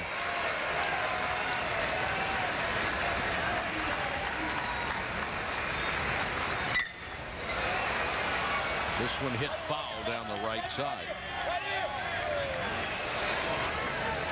Here's the way it looks if you're a hitter. See, the, the, the kick leg knee gets up there where the ball's going to come out. The glove is guarding the shoulder where the ball's going to come out. Then the glove kind of turns away, and then all of a sudden, the arm swing you don't see very much because it's such a high leg kick. Watch the leg kick. It is going to guard the arm swing coming out the back. Then the glove goes up and blocks, and now the ball comes from where the glove was guiding the release point, guarding the release point. One and two breaking pitch line down toward the left field corner and diving and making the catch is Landry. Boy, they have played some defense, and that's as tough a play as you're going to find diving to your backhand side. Well, we were talking earlier about speed, and anytime you have speed in the outfield, you're going to be able to run down some balls. Kevin Keyes gets this ball. It's up in the zone, hammers it into the corner. This ball's tailing away from Landry, and he's able to make that play into that corner, not knowing exactly where the wall is. He can go over here, he can see the chalk line, but he makes a great play in all effort. Boy, is that a terrific catch by Landry and left. You betcha. He deserves that. Now the difference between that dive and the one that we said that Jared Mitchell shouldn't have dove is Jared Mitchell's ball is going to be a single if he doesn't dive. That ball, no matter what, is going to be a double, so you go for it. Boy, that's just a great play. You know, Orel, as a as a pitcher, you were so calculating with everything, trying to find every little piece of information you could. Did you work on anything to have uh, to hide the ball a little bit better, or was? Well, you always do. You have your delivery for throwing strikes and executing your pitches, but what I would do is get a guy like Robin as a teammate or some other teammate that I thought was a very good hitter with a great eye, and I would bring him down to my bullpen sessions when I wasn't going well, and I would have them watch my bullpen session from each batter's box and tell me what they see. You know, what do you see in my sinker? You seeing it too early? Is it is it half depth? Does it look like it has a pattern? What do you see in my curveball? Is there a difference in the trajectory between that and my sinker? And the hitters will tell you. Then you go, okay, okay, I got it. Now I'm going to make an adjustment. Tell you what you see now. And say, okay, now it's better. So you, you use your hitters to help you find your repertoire that is really going to be effective. Ball and two strikes to Connor Rowe. Was there ever a concern that the guys that were giving you information were going to end up on another ball club and then be able to use it against you? Yeah, not really though, because it's going to be a completely different time in our in our history. Okay. What they're seeing, what I'm doing. On the corner, called strike. LSU with some sensational defense to prevent Texas from adding to the run. And this is where speed is your friend and not being not being in the lineup a whole lot. This is a great effort right here by Leon Landry. And the fans love it.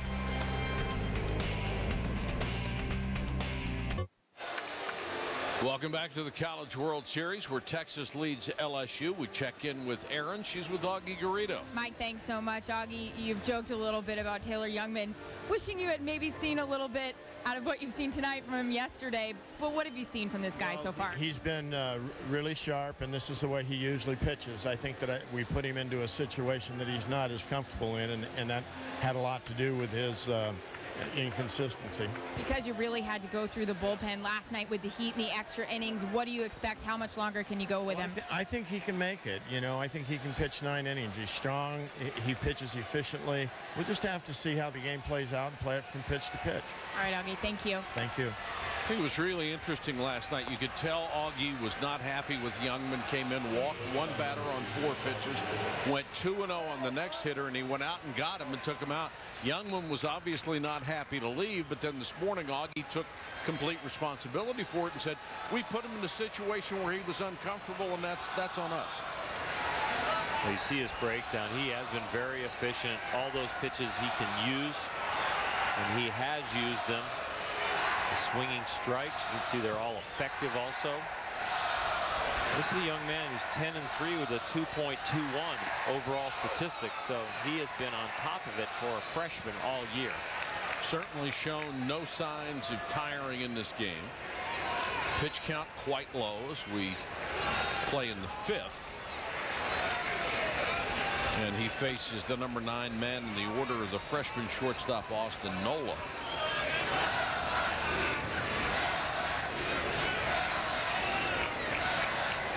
And the pro Tiger crowd chanting LSU. Fastball hit toward right, but Keyes is there for the first out of the inning. Wednesday Night Baseball presented by Smirnoff Ice on ESPN2 at 7 Eastern. The Yankees and the Braves. ESPN News will be shown in New York and Atlanta. Then Sunday Night Baseball presented by Taco Bell on ESPN at 8 Eastern. The Yankees wrap up their series against the Mets. Both games part of the AL NL Showdown presented by State Farm.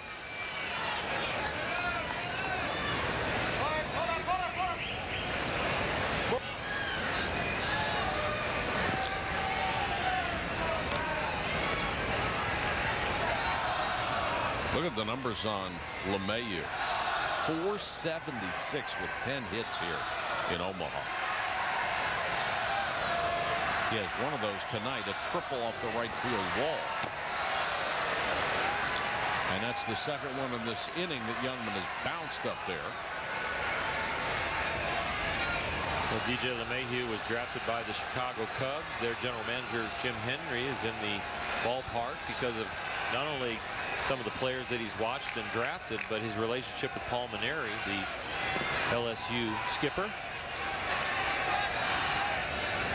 And Jim was the head baseball coach at Creighton when he brought them to the College Yes, World he. Series. Said LeMahieu went around and one and one.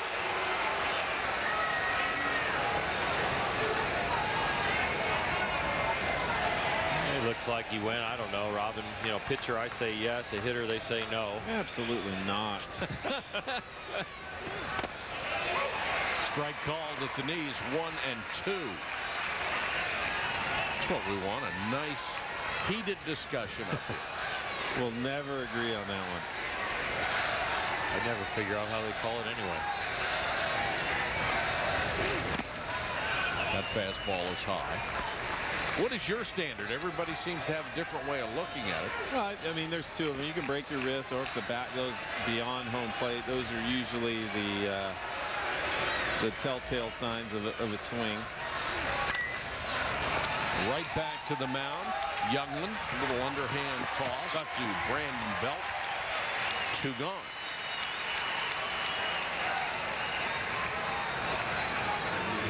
Taylor Jungmann pitched in relief on a Friday and started on a Sunday during the regular season. He's never relieved the day before. Now, that relief appearance was a very brief warm-up, come in, throw six balls, and get out. It wasn't a lot of stress, but it was almost like a glorified side work with a little adrenaline to it.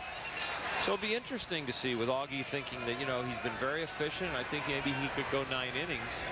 I think Augie's hoping he can go nine innings because the bullpen took such work. Well, the difference has got to be you're at the College World Series in Omaha. You're on the biggest stage that this game can present. And you throw six pitches and make that nice and glorious walk to the dugout. But I'm looking at a young man that might make $180 million in the big leagues, too. He could end up being a top draft pick his junior Sure. year. He could end up having a 15-year career. So I've got to watch him, and I've got to make sure I try not to hurt anybody. Ball's hit hard, but straightaway center field, and the wind driving it back. And an easy play for Connor Rowe. Three up, three down here in the fifth. Texas in command, 5-1 over LSU. Now it's time to look at Lowe's, honoring the winner of the Lowe's Senior Class Award. This year's winner, University of Florida infielder Brandon MacArthur. He helped lead the Gators to the Super Regionals this year, hit 338, had 441 RBIs, 14 doubles to lead the team. In the classroom, he completed his undergraduate degree in criminology and is now working on his master's degree in anthropology, a four-time SEC academic honor roll selection. Congratulations to Brandon MacArthur. Both of you guys have anthropology degrees, don't you? Isn't that a store? Isn't that a women's clothing store? no, but that's good. That's good.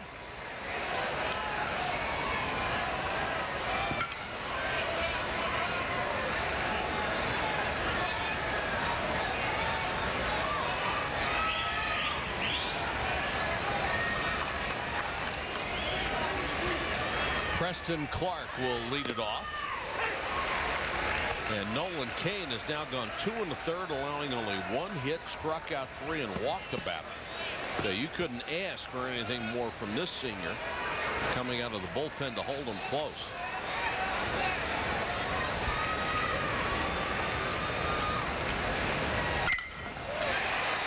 That pitch was up in the zone and line for a hit by Clark.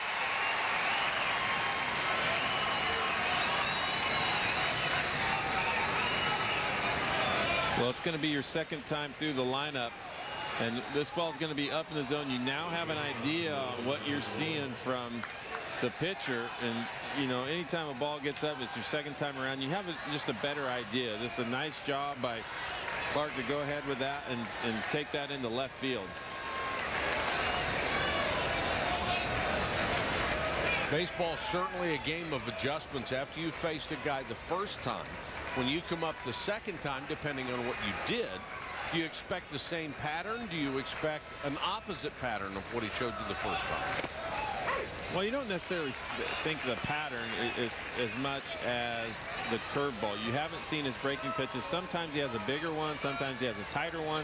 And when you're going through the first time, it's the first time you've seen him, you get two strikes on you, you don't know. So they're chasing balls that are kind of going out of the zone. Now you have a better idea because not only during your at bat, but you're watching when other people are at bat. Clark at first, Brandon Loy, the number nine man in the order, looked to sacrifice on that first pitch. The Texas looking to get that fifth run, plus expand this lead. That bunt is foul. Well, the fifth run as far as leading. And what you're trying to do is Texas is or LSU has scored 9, 9, 14, and 7. So Augie's not sitting there thinking, you know, they're done. He's looking for the knockout punch to get to seven or more because that's right where LSU usually ends up no matter how the game goes. If they get them early or they get them late, they, They get 'em. usually get them. That's right. Well, right now I'm thinking with Taylor Jungmann in there, you, you better be worried about getting two. he, I mean, he is pitching a game, and and you know if if Augie Garrido's thinking about him stretching him out, you know, three more innings, you you still have Wood that's in the pen, you still have pitchers that are in there, but you, know, it's not like last night where a guy's just you know cramping up. He he looks pretty strong on the mound. 0-2 to Brandon Loy.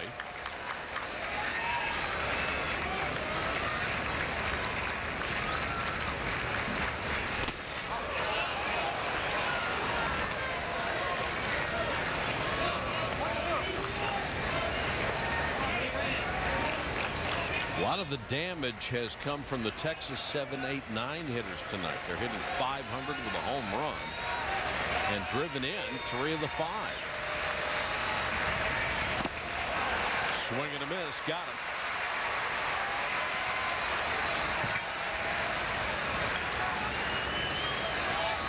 Back to the top of the order for Torres, who has a single, a walk, and a strikeout in three trips to the plate tonight. We are in the Texas sixth inning. The Longhorns on top 5-1.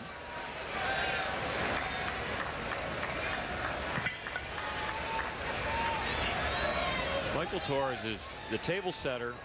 He has some speed, but he's he's not one of those flyers. You know, a third baseman that's a leadoff hitter is not usually a flyer, right, Robin? Not usually. you don't see many leadoff hitters that are third baseman. Well, he's moved around a lot. He's played different positions. He's been at second, shortstop, left field. You know, so he's not your typical, you know, third baseman. But, you know, Chone Figgins ain't bad. No, I like him. But He's- you're right. He's, he's- not your typical third baseman either. Yeah, he's messing with the uh, you know the normal flow of third baseman. He's bringing the uh, the average down. Which average? The average the of slow nothing. Foot? Yes. The slow foot average. Torres started his career at Southern California, transferred to Texas.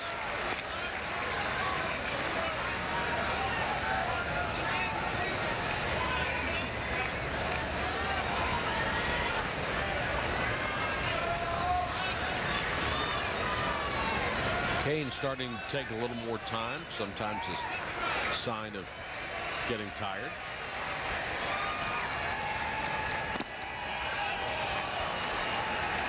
That's a pretty good pitch right there. That's a sharp breaking ball down to a left-hand hitter looking for a rollover double play.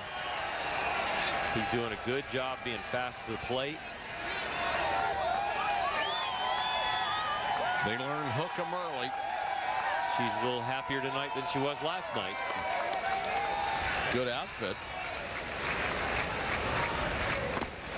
One's low. Torres has worked the count to three and one with Clark at first base and only one out here in the Texas sixth.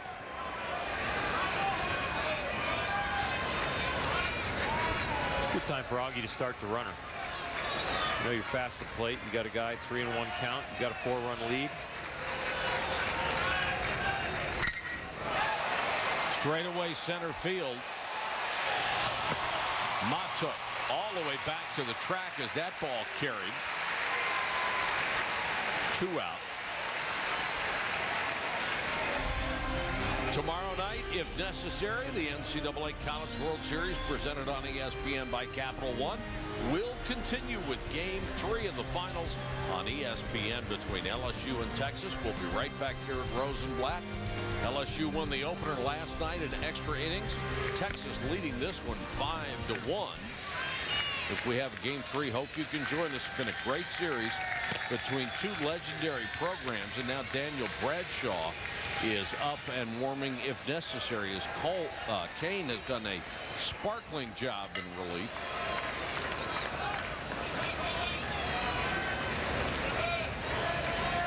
But has not worked that many innings, only 30 innings coming into this game all year long.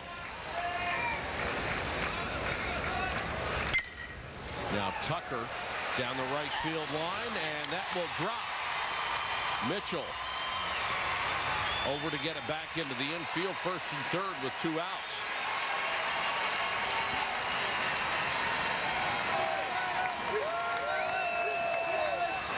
Did a nice job not trying to do too much. That ball's breaking down and in, stayed inside it.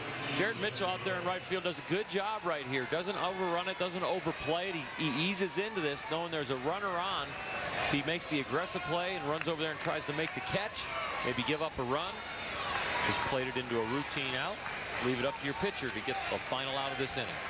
Two on, two out for Brandon Belt. And let's see if that's about as far as Cain is going to go.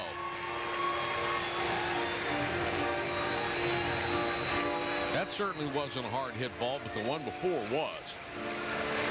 Well, again, we're going, you know, you're now going around the second time of this lineup. Guys have a better idea. It's not necessarily how hard. Preston Clark hit one hard. Michael Torres hits one hard. Travis Tucker dunks one in in right field. It's not always the hard ones. It's just getting a better idea and getting your bat on it. It's not like any one of his pitches will really put any anxiety in a hitter's mind. It's the whole repertoire of pitches, but once that mystery is revealed, now the hitters get more comfortable. They're like, oh, this is what he goes with. Oh, you know what? I, I really, the changeup and the curveball are kind of the same pitch. They're kind of the same speed, and they end up in the same place. And the fastball's not that overpowering, so this is going to be my approach. And that's where, in the second time around the order, the hitters start to catch on. Cain will stay in there. As you see, he's thrown 44 pitches. And he'll face Brandon Belt, who was singled, walked, and popped out. He's driven in three here in Omaha.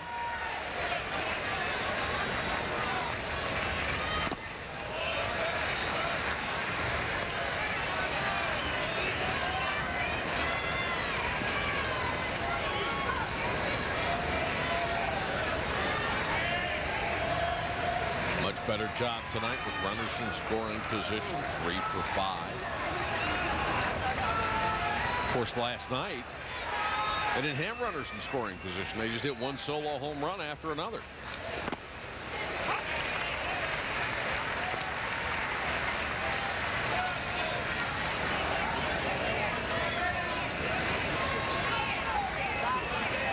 Pretty close if it's not back. It is reminiscent of what they used to do for Gorilla Ball. Breaking pitch misses.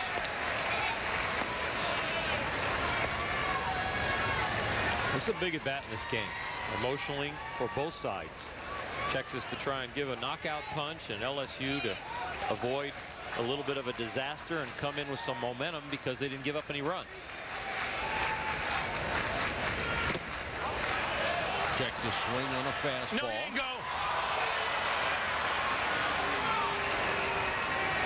Three balls and a strike to Brandon Belt.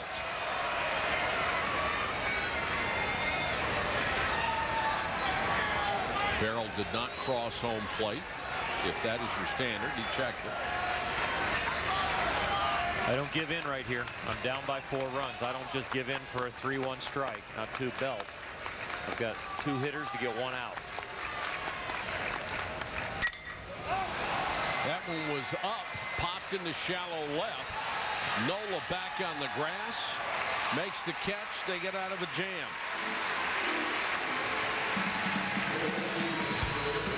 Texas gone into six, but they still lead it here in Omaha, five to one.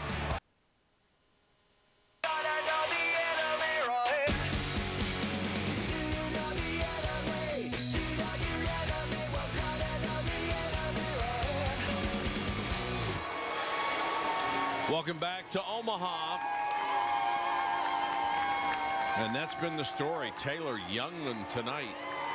She has shut down LSU on three hits as we go to the bottom of the sixth and given the Texas Longhorns a 5-1 lead. And this angular young man has done his job.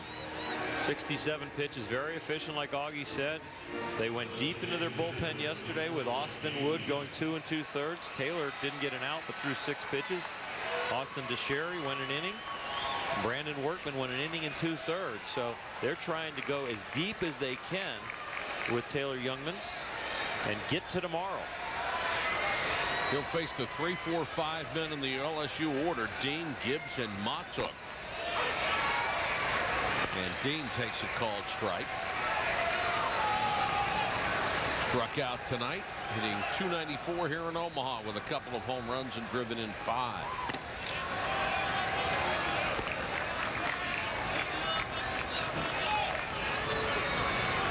All Jungmann has done in the College World Series is go 11 in the third inning and yield only six hits.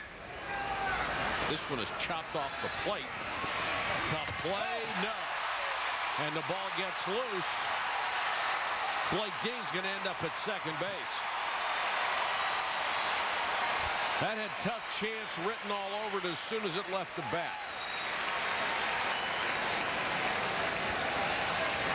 This is a play that's taught one way, and I think it should be taught another way. The pitcher should field this ball. He is the fielder. He, see how Taylor gives up on that ball? He needs to go and get that ball. Because the second baseman is going to be there when it's that high. And I think Taylor ends up being the one that could possibly get it. The play there also is to get completely out of the way once you're not there because you have to see the second baseman. You've got to get out of the way. You either have to be the fielder or get completely out of the way. And what Tucker sees at second base is the runner coming from one side, the pitcher coming from the other side, and the ball in between. Good luck.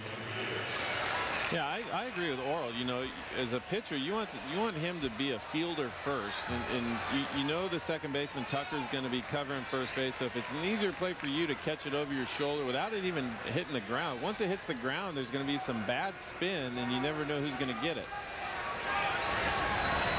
Micah Gibbs after they get a break. Let's see if LSU you, can do anything with it. When you have pitchers fielding practice and you teach your pitchers to be fielders, watch right at the crack of the bat. He should break backwards. Instead of breaking, see, he's in between. Like, do I take that pitcher's angle in the 45 and run to the bag, or do I field the ball? So he was indecisive. Buck Showalter, who I worked with as his pitching coach for three and a half years at the Texas Rangers, said, pitchers, I want you to go get the ball. We'll get the bag second. They give Blake Dean a base hit. The errors on the second baseman Travis Tucker for not being able to field the toss.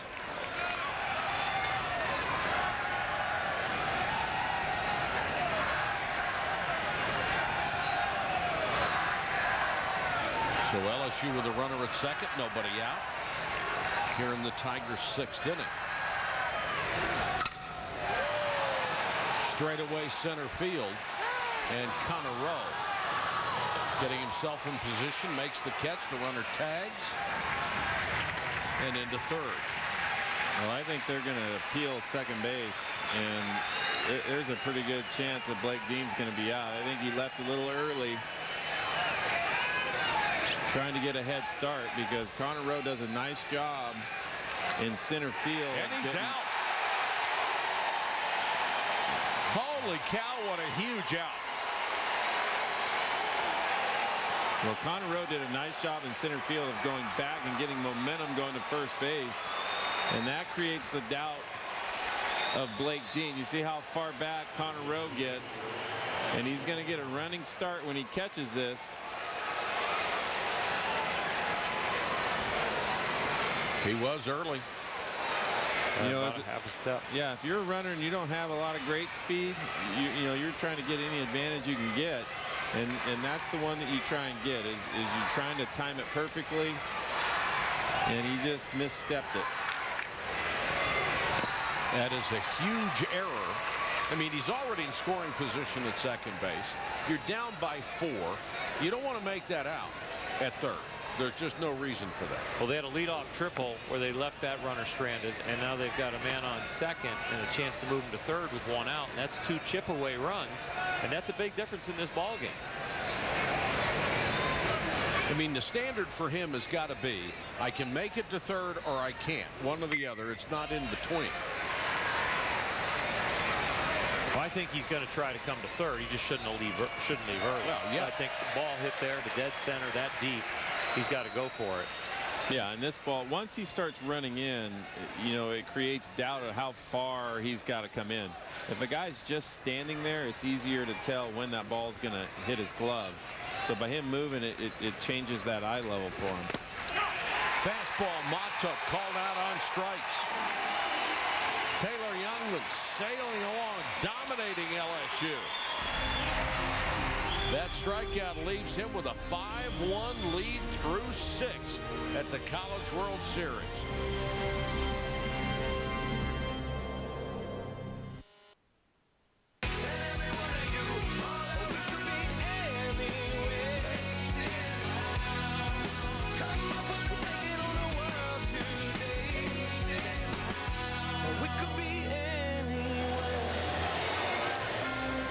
Welcome back to the College World Series. And it's 5-1 Texas trying to force a deciding game three tomorrow night as they lead LSU. Our analyst Kyle Peterson is on Twitter giving live updates and insight on all the college baseball storylines throughout this championship. You can search ESPN College World Series on Facebook and become a fan to get behind the scenes access to video trivia, polls, and discussions. And let's go down to Mr. Twitter himself. Here's Kyle Peterson. Thank you, Mike. I've been called much worse before. um, you know, it's funny. I'm not the only one on Twitter, and this has been really interesting doing this throughout the last couple weeks through the college baseball postseason. Today, a little note back from Rick Perry, the governor of the state of Texas. He's been following along. He and Bobby Jindal, the governor from the state of Louisiana, have a little bet on this series, too. A little gentleman's bet, of course, for Rick Perry. If Texas loses this, LSU wins, he owes Bobby Jindal some Texas barbecue. And if Texas pulls it out, then Bobby Jindal owes the governor from Texas a little bit of Louisiana seafood. So, guys, there's actually some people following this. I get a little bit nervous down here. I can't type much, so it takes me a while. It's big thumbs. Russell Moldenhauer, he of all the power here in Omaha, facing Nolan Cain to start the seventh. It's really interesting after last night's game. A few of the guys got IVs. Kyle was icing his thumbs.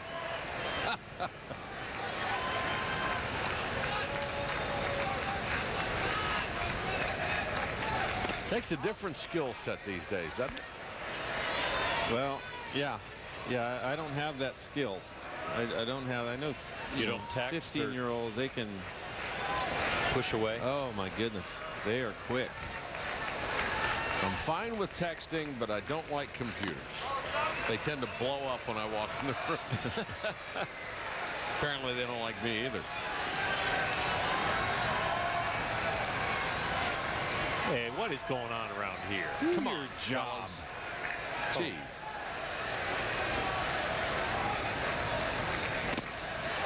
Boy, Cain's been impressive, too. He has. You, you, know, you get that herky-jerky motion that Orel was talking about. And, and, for me as a hitter, the changeup would have been the toughest thing to adjust to. I mean, you, you know, you have the curveball and everything, but, you know, if a guy has a great changeup, it is tough to hit, especially with a lot of motion like he has. He doesn't quite drop like Kevin Appier during my generation, our generation, but he's got a lot of that herky-jerky. Kevin Appier dropped on his back leg. The back leg bent a little bit more, but there's a lot of knees and elbows and shoulders and glove all going on right here. And that's Kevin Appier pitched in the big leagues for a long time very successfully. Three and two to Russell Moldenhauer.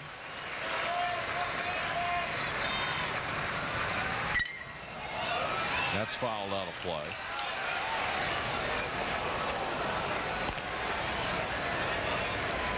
Micah.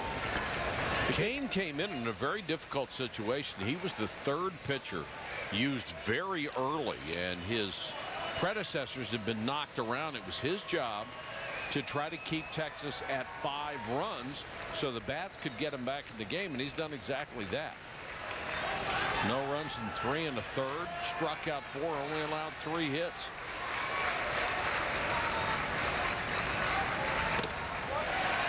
Lost him. Now time for our Coke Zero game track from Omaha and the College World Series. Texas jumped on top early, one in the first, one in the second, three in the third. Jungmann has been dominant, four hits over six innings. And the LSU 3-4-5 hitters have suffered a power failure.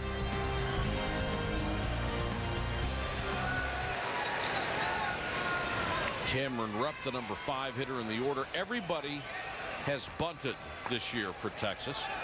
Rupp Big, powerful hitter, leading home run hitter on this club, has second sacrifices. Seven sacrifices this year. Let's see if they want him to sacrifice or swing away.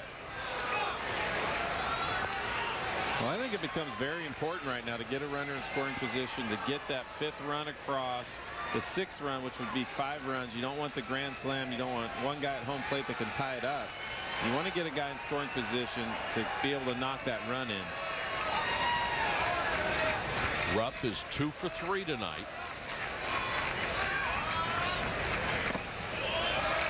Checked his swing.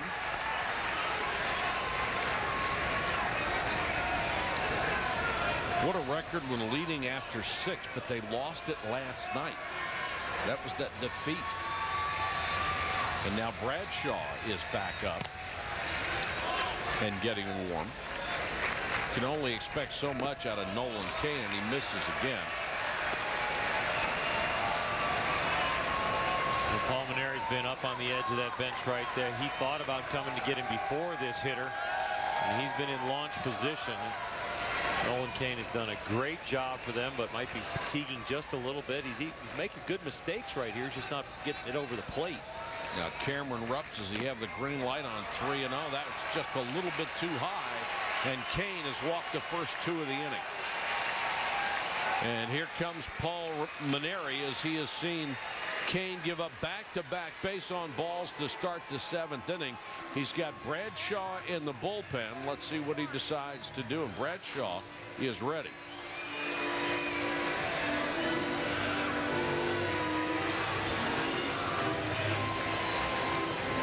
And he will. We'll have a pitching change. We'll check it out for you when we come back to the College World Series with Texas leading by four. Texas trying to force a decisive game three tomorrow night. They lead LSU four to one. Let's take a look back at our Capital One images. Capital One presents flashback images. 1987. Up three runs in the 10th inning. LSU went to the bullpen to close out the game. But Stanford's Paul Carey provided some late inning drama. Way back there,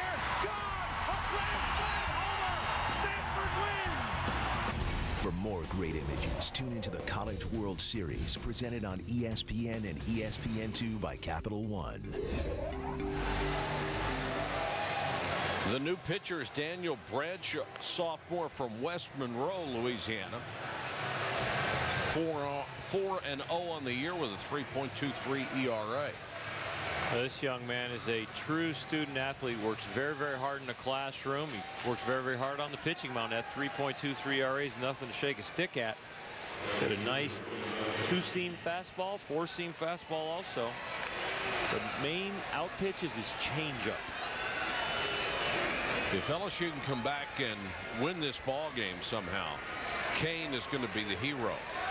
He did a terrific job out of the bullpen, but he does leave them with two guys on, nobody out for Kevin Keyes. Moldenhauer at second, Cameron Rupp at first. Keyes pops it up right back toward us and just shy of the roof.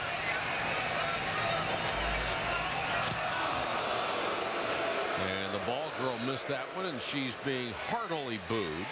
The umpire got in his way. See, that's what she's telling the other girl. Did you see that? He got in my way. It's unbelievable. You know, she's looking at the umpire like he made a bad call on a strike. Get, oh, now I get booed.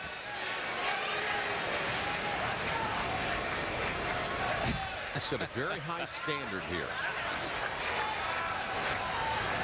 0-1 to Keyes. Breaking pitch. This one is fouled out of play down the right side. She was like, that's so routine. I've got to have that, but he was in my way. You got to elbow him. You gotta got to get push him out, of the way. way. Yeah. He's not in play. He's not in play. Push him out of the way. Yeah, absolutely. If you were looking for Sports Center for highlights of everything sport, it's airing on E ESPN2 as we continue from here in Omaha. 10.02 local time. 11.02 in the East. Right back up the middle, gloved by Nola on to first. Kid Slick at shortstop.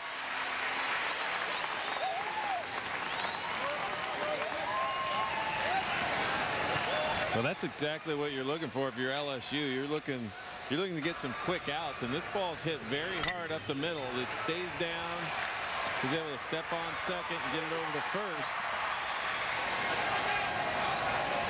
Just what the doctor ordered if you're LSU. Moldenhauer advances to third, but there's two outs for Connor Rowe.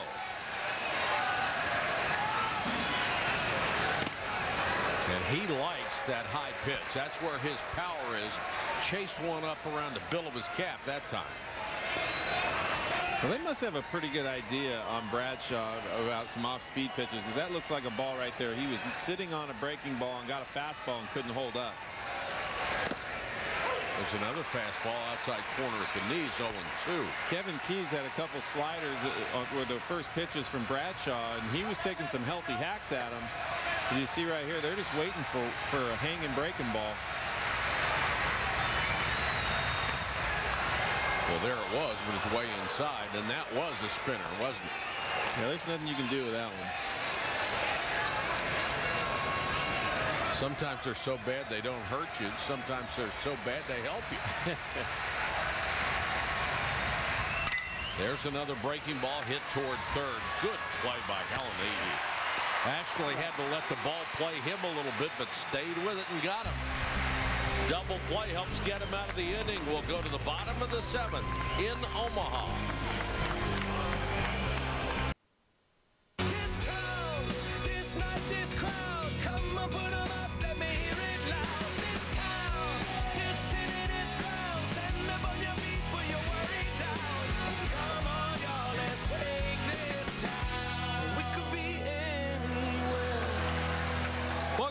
The College World Series. Texas on top of LSU 5-1. We check in with Erin. Hey, Mike. Well, so much has been made about Texas and their dramatic comebacks. Three straight of them here in Omaha. A lot of questions while these guys were warming up and, and chilling out during the rain delay about how they would handle such a tough dramatic loss last night. Well, a lot of the guys said, you know, that rain delay, as we mentioned before, gave them so much of an opportunity just to kind of break up the routine, lay back. And if you want to know how relaxed this team has been, well, they've been dancing here in the dugout, doing some pull-ups over here. And of course, you know, being up by four runs helps that. But they were even relaxed when they left their hotel today. How do I know? Five of these guys left their jerseys in their room. Poor uh, staff here for the Longhorns had to go back to their hotel and, and get some of the jerseys for these guys. So really not even thinking about their uniforms to bring to Rosenblatt tonight. All right, Erin, thanks. I can. They trailed Southern Miss by one in the eighth and won it. Trailed ASU 6 nothing. That was a big comeback. And down 3-2 in the bottom of the ninth. They win it 4 to 3. LSU, its biggest deficit since trailing Vandy 4 nothing in the SEC tournament. That was the last time they lost in postseason. I can see either one of you guys dancing in the dugout. No, no, I, it, it, wouldn't, it wouldn't have happened. Orel did a lot. Oh, here Orel, we go. Orel did a lot of that.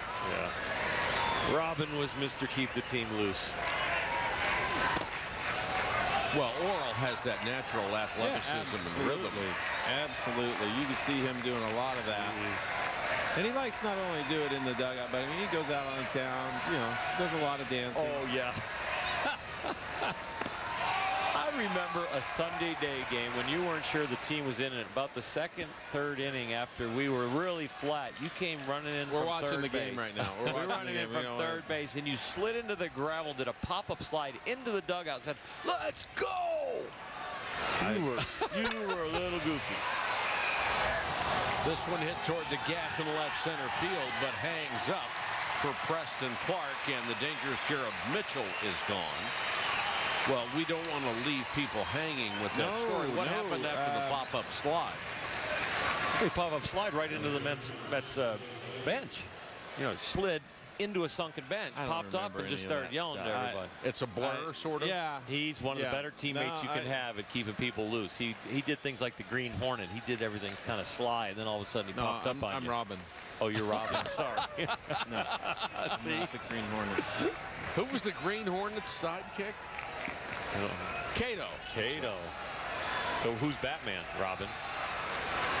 Ooh, I don't know. Oh, yeah. I'm only concerned to myself, Orel. Oh, I apologize. Landry fouls off the first pitch, getting late for LSU. Especially against this young man. 12 and two-thirds innings, seven hits, two runs, one earned, five walks, 11 Ks here at the College World Series. That's an ERA under .8. Done his job and more, and Landry now in an 0-2 hole, it make it one and two. Landry, the defensive play of the game, maybe the College World Series. That's just a brilliant running catch. And it's no fun landing on that track. Just stayed alive. Well, one of the things I, I really like that Augie Garrido's doing is nobody's warming up in the bullpen. Nobody has even got off the bench. You know, he's not letting LSU think there is even a chance that Taylor Jungmann's coming out of this game. So you're going to have to figure him out before anybody else. Only 85 pitches so far. This one curling foul. Almost had a double. As Landry goes opposite field against Jungmann.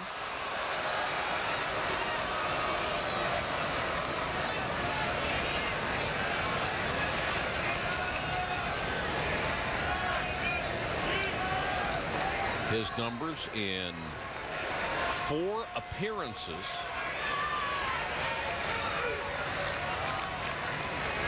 Got to be very envious of what he's put up. If he gets a win here in this game, he'll tie a College World Series record being 3 0.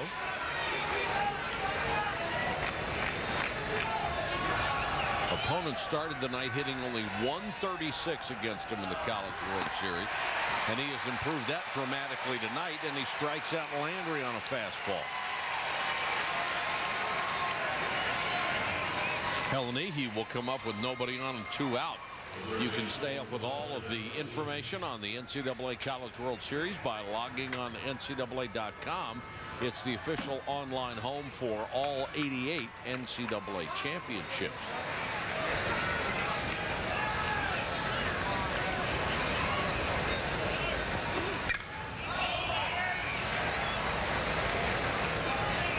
Doesn't look like fatigue has become any kind of a factor for Jungmann. His motion identical to what it was. Still able to get up that normal speed on his fastball, 89, 90 miles an hour.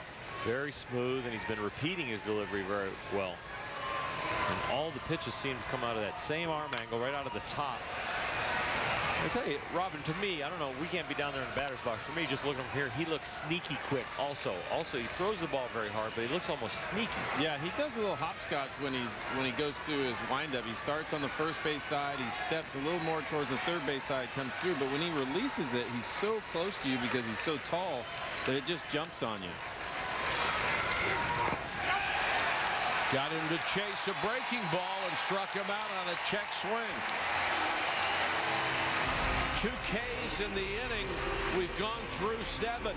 Jungmann trying to get Texas back in the finals of the College World Series.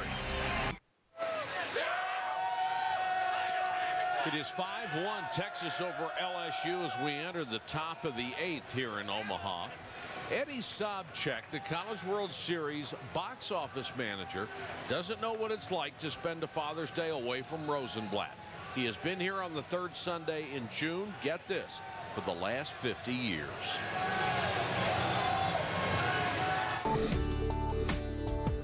Started here 50 years ago, been the box office manager. This is my uh, 32nd year of being with my father and working in the ticket office with him. It's really important for me to be here every year with my dad and support him, and it's just great bonding and getting back together with him every year.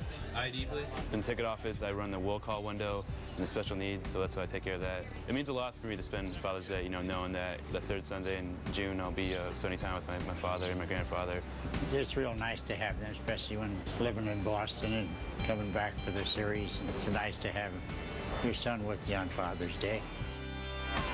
In 2007, Mike Sobczak was in India on a business trip and was frantic before Father's Day.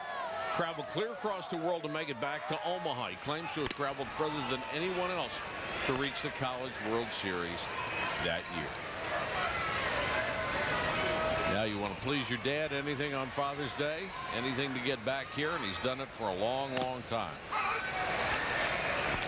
Bradshaw will work against the eight, nine men in the order and then back to the top of the lineup for the Longhorns. Preston Clark leads it off. Breaking pitch. Shallow left center field. What a play by Nola. He had the toughest angle of everybody, and he made it look easy. He went a long way, didn't he? Oh, that's a long way, especially the way this ballpark's been playing the last couple nights. You get the ball, the outfielders are going to break back, and this ball's hit straight up. And one of the things he's doing is he's sprinting all the way there.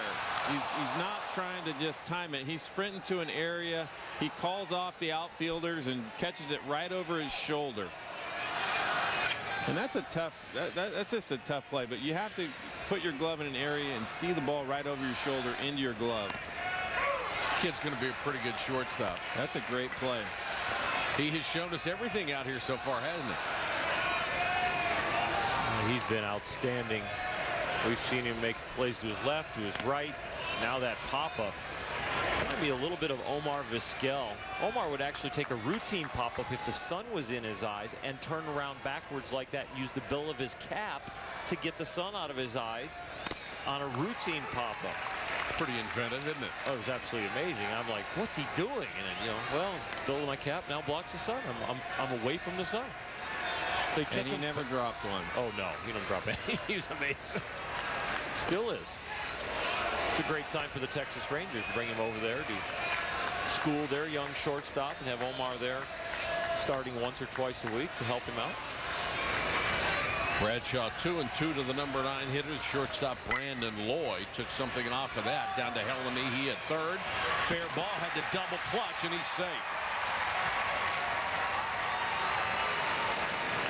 Check in with Kyle Peterson. Kyle? The guy's kind of starting to wind down here a time at Rosenblatt. Last year being next year and talking about the things that this stadium's seen. It was neat to hear the subjects talk about the time that they've spent here, father and son. I spent a lot of Father's Day here with my dad, too. My parents still have the same seats. I'm sure my pop's here tonight. It's one of those things I think about this stadium that people start to realize here as we get to the end. I think the, the thing that we need to realize, too, is with this new stadium, TD Ameritrade Field will be based right in downtown, and TD Ameritrade's a company that's been here for over 30 years. It keeps it here for the next 25 years. So I think the bigger thing is that it stays in Omaha. So much is known by Rosenblatt. Obviously, that's great, but I think even more is known because of what the cities did here in the time that the series has been in town. It's great to know that it's not going anywhere for at least another 25 years. Well, Kyle, there are a few people who have an attachment to this facility and this event the way you do as a fan coming here as a kid, as a player, coming back here to be able to pitch with Stanford now as a broadcaster and a resident of Omaha. Uh, you're about as uh, tight with this event as anybody that's ever been here. Yeah, it was funny. Rob and I were talking down the line the other day just about the changes in the ballpark. The old cages that used to be out behind left field. He was talking about the times that they used to stand by the down the line when you wait for the next team to finish. I mean, it's for college baseball players that have had a chance to play here. So many of the things that will form your memories of college happened right here, whether you won or lost. We never won it. I mean, we came here twice and lost it, and I think Robin's Oklahoma State teams were the same way. But still, I mean, you can remember remember Jack Payne, who was the announcer here for so many years. Sure. Calling my name the first time when I ran out here. Man, I'll never forget that.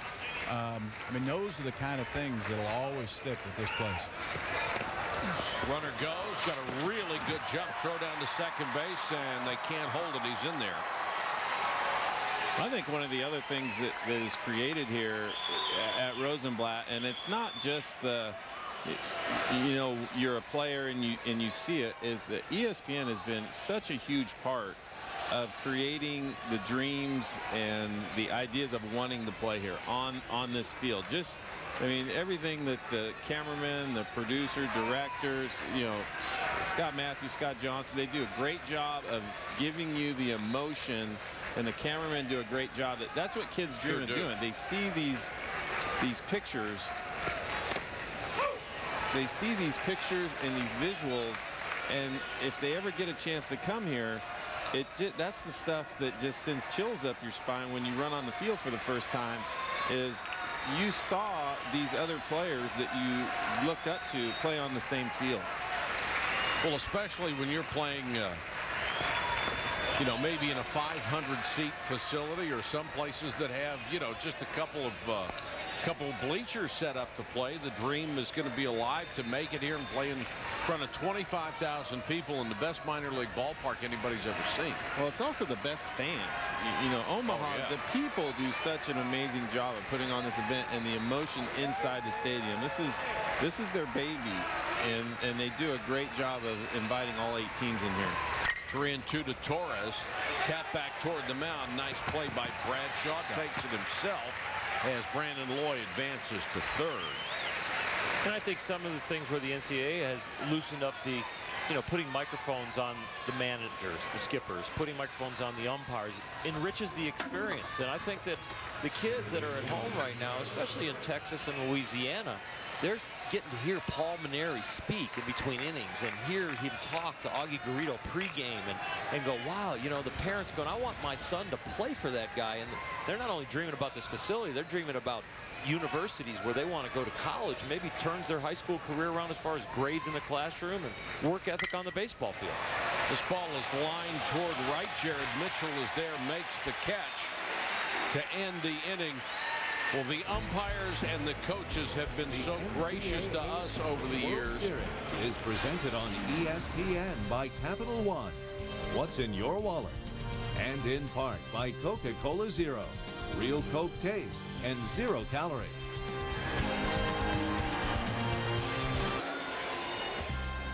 Welcome back to ESPN's coverage of the NCAA College World Series presented on ESPN by Capital One.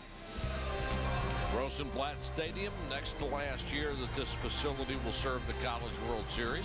Will be downtown after that, and Texas leading LSU 2 to 1. And tomorrow night, the NCAA College World Series, presented on ESPN by Capital One, will continue if it's necessary at 7 Eastern, Game 3 finals on ESPN between LSU and Texas right now. The game would be necessary. And the last two teams to force game three have won it all. Oregon State in 06, Fresno State last year. Obviously, if you win game two to force that game three, the momentum is on your side. Augie Garrido likes to call it mother momentum, and it can get in any dugout at any time.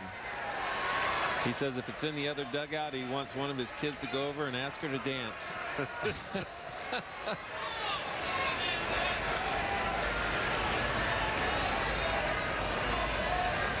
Nola will lead it off in the LSU eighth. They're running out of outs down by four. And Jungmann just rolling along. He's yielded only four hits through seven. Still getting up there pretty good, isn't he?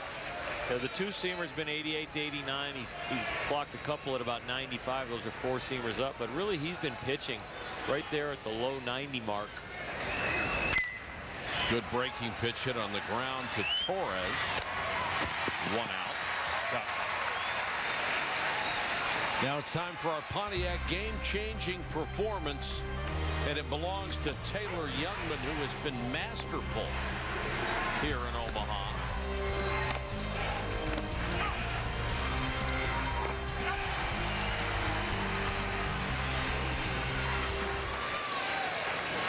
Well, the big tall drink of water.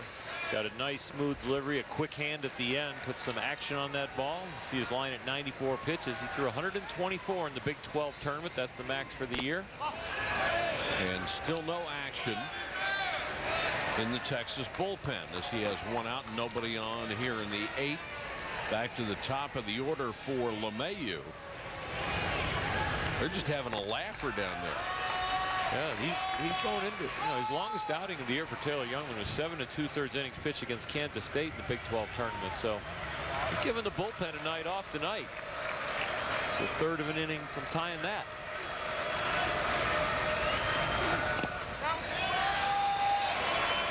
But the pitch count's far more important than the innings, correct? Uh, yes and no, depending on you know where we are in, in the uh, how hard the pitches are. But yeah, I think his pitch count right now is is solid for this length of game.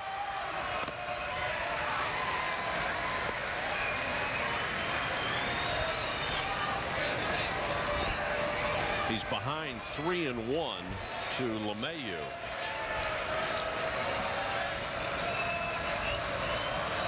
DJ has a triple and three trips, and this one again through the shortstop Brandon Loy. Second time he played it a little bit side saddle, Robin. Well, it's the second time this, this ground ball has happened. One of the things in college baseball is the way the ball's hit. There's a lot of top spin on a ground ball, especially with the aluminum bat. And you'll see it as soon as it gets that last hop right on the dirt. It's a tough one, and the seams are a, are a bit bigger than a Major League Baseball. It creates a tougher job for the infielder to keep that ball in front of you. It's, it, it's, I believe it's actually tougher to catch a ground ball here than it is in the big leagues, just because of the seams and coming off the aluminum bat. It's an error on the shortstop, Brandon Loy. His dad played on the 83 Texas team that made it here. And LSU can they have their first four-run comeback all year long?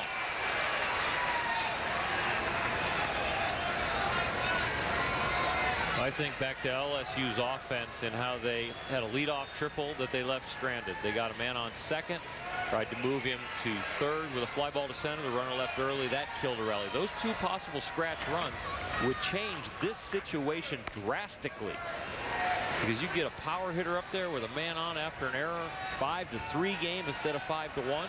Well I think if it was five to three you'd have some guys up in the bullpen. Well Schimpf is their power.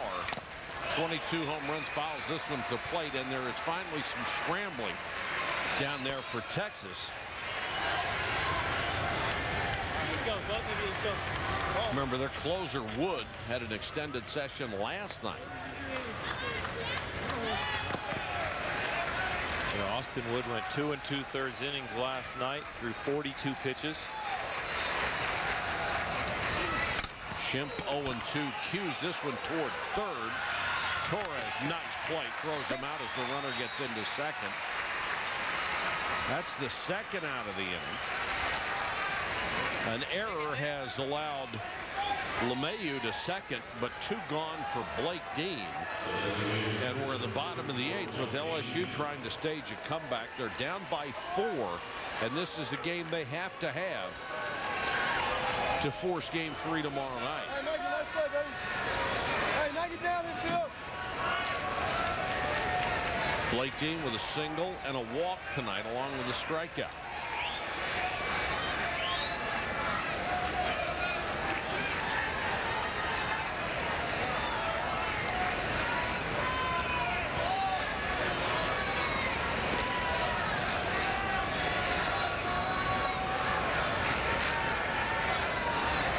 LSU has had so much success against right-handed pitchers with a sparkling 325 average.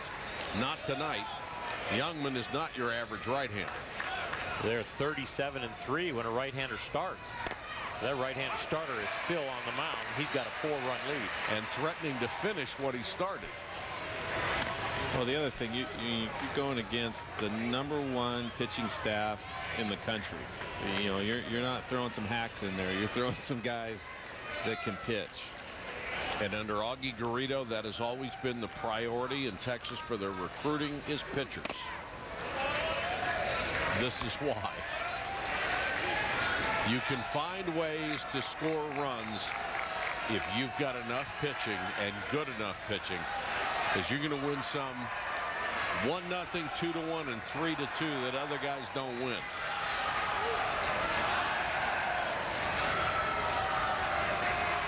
One and one to Dean. Runner at second. Two out.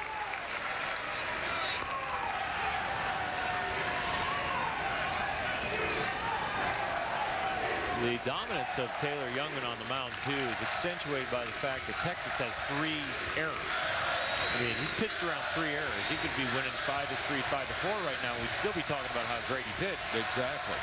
But five to one, pitching around three errors. In the air, on the infield. Belt now into foul territory, makes the catch. The inning is over. We'll go to the ninth. Texas ahead 5-1 over LSU.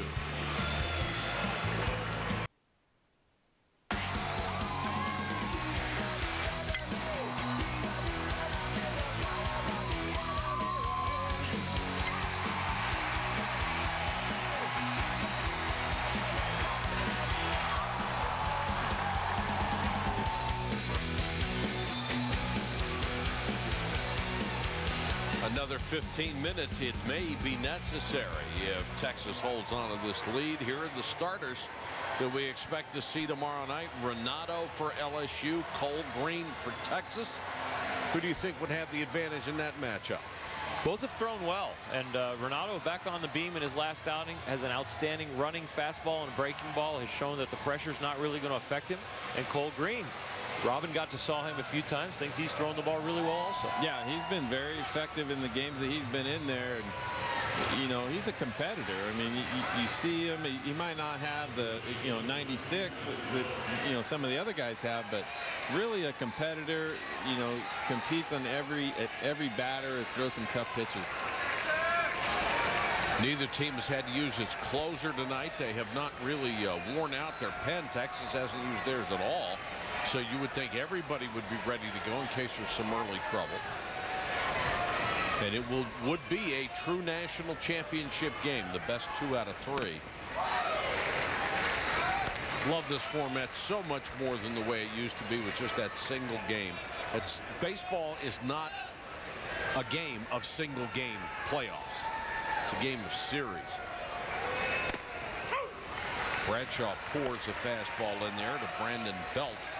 Three, four, five for Texas as they try to increase their lead with a couple of insurance runs here in the ninth.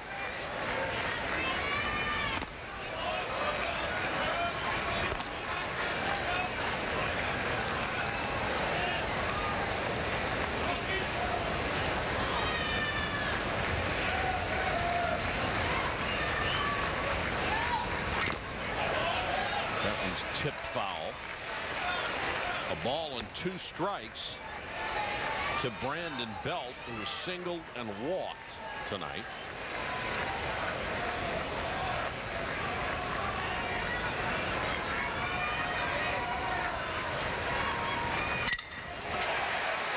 Line to right on one hop to Mitchell for a base hit.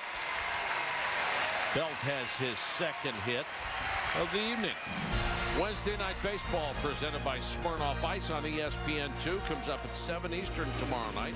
The Yankees take on the Braves. ESPN News will be shown in New York and Atlanta. Then Sunday Night Baseball presented by Taco Bell on ESPN at 8 Eastern. The Yankees will wrap up their series against the Mets. Both games part of the AL NL Showdown, all presented by State Farm. That's on Sunday night. Moldenhauer stands in a runner at first and nobody out here in the Texas ninth. They're already up 5-1. What a performance by Moldenhauer here in Omaha. Six hits, four of them home runs.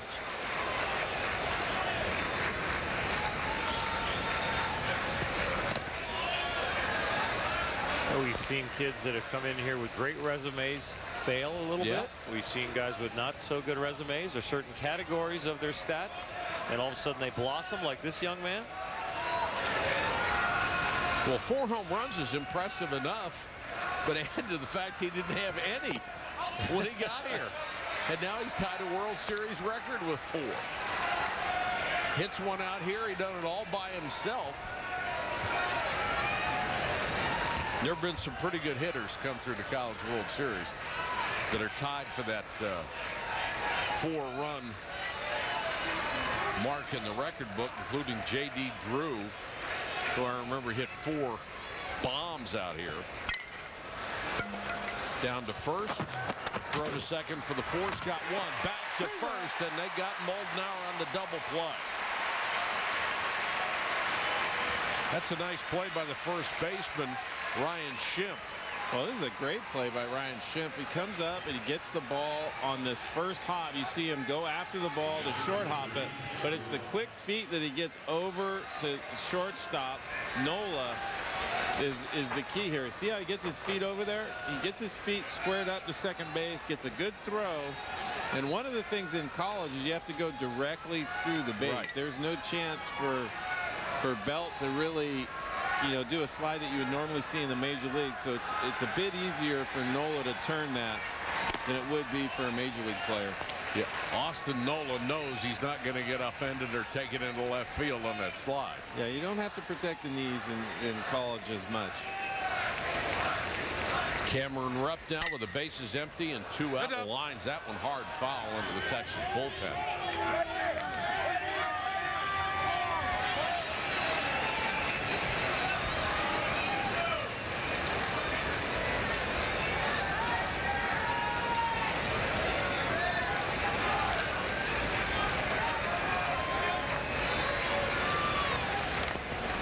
That hit him.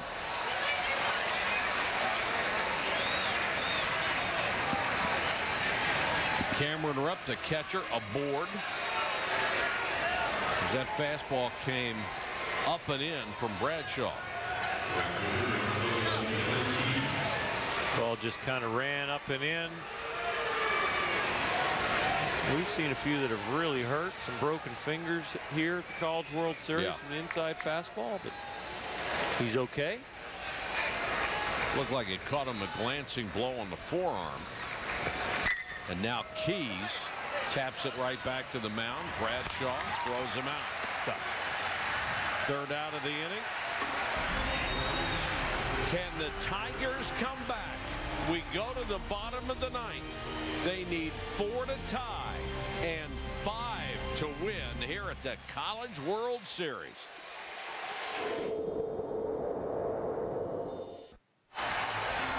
Welcome back to our coverage of the NCAA College World Series presented on ESPN by Capital One. It's been a longhorn evening, 5 to 1 over LSU as we go to the bottom of the ninth. If you joined us late, Texas early with power. And then they turned it over to Taylor Jungmann. And the right-hander has gone eight innings, given up four hits, one unearned run.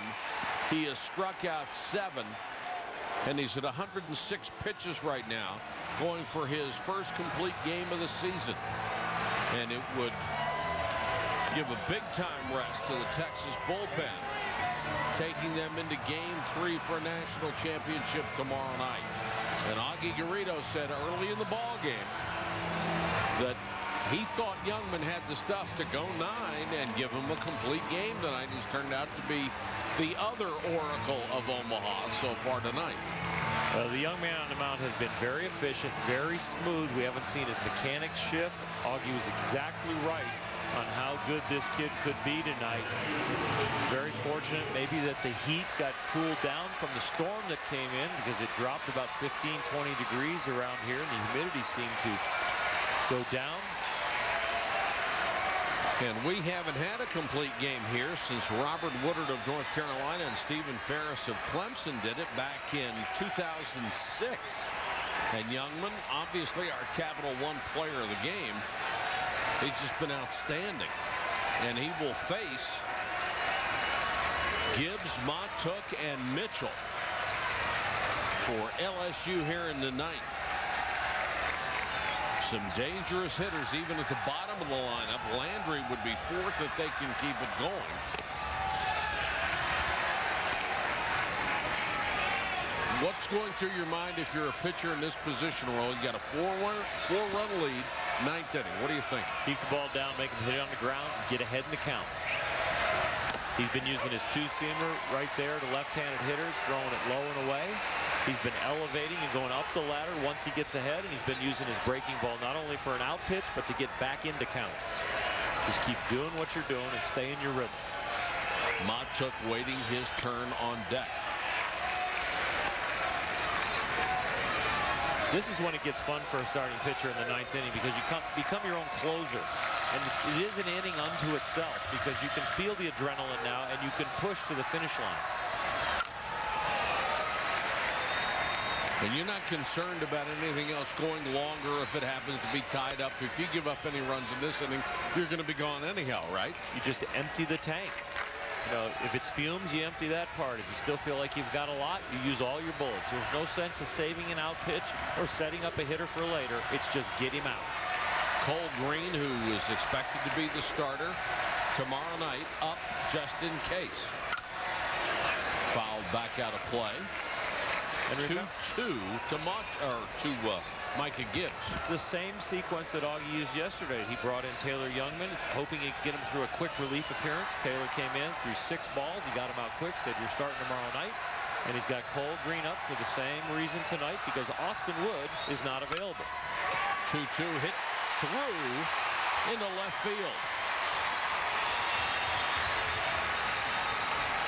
So Gibbs starts the bottom of the ninth for LSU with a base hit.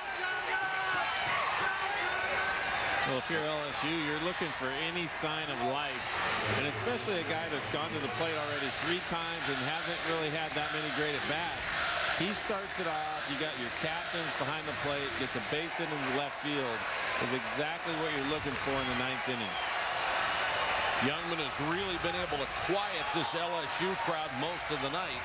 They're going to be fired up here, and Mikie Mahtook fouls one off the right side. One on, nobody out.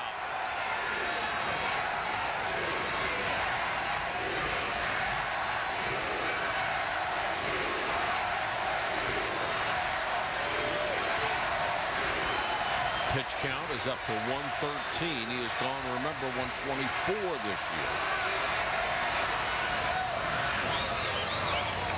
Hello. Mikie Mahtook's mom. Yeah, I know. They counted me With the pressure on the parents, just unbelievable. They would do anything to have their kids be successful here. 0-1 off the fists and foul. Mahtook in an 0-2 hole. He's 0 for 3 tonight, grounded out twice and struck out.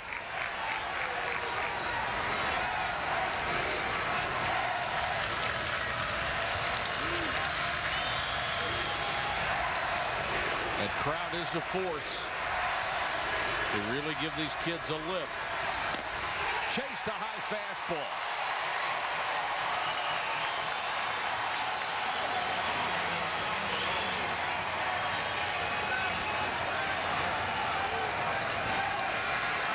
He goes up the ladder. We talked about the fastballs down to get ahead or a ground ball, the breaking balls, and then he shows you the heat above 90, sometimes all the way up to 95. Eight strikeouts for Taylor Jungmann.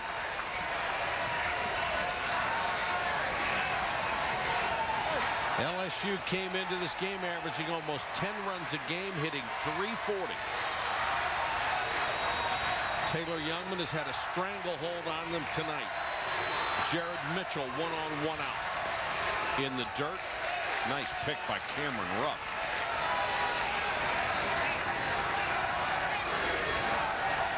Mitchell with a single, also a walk tonight.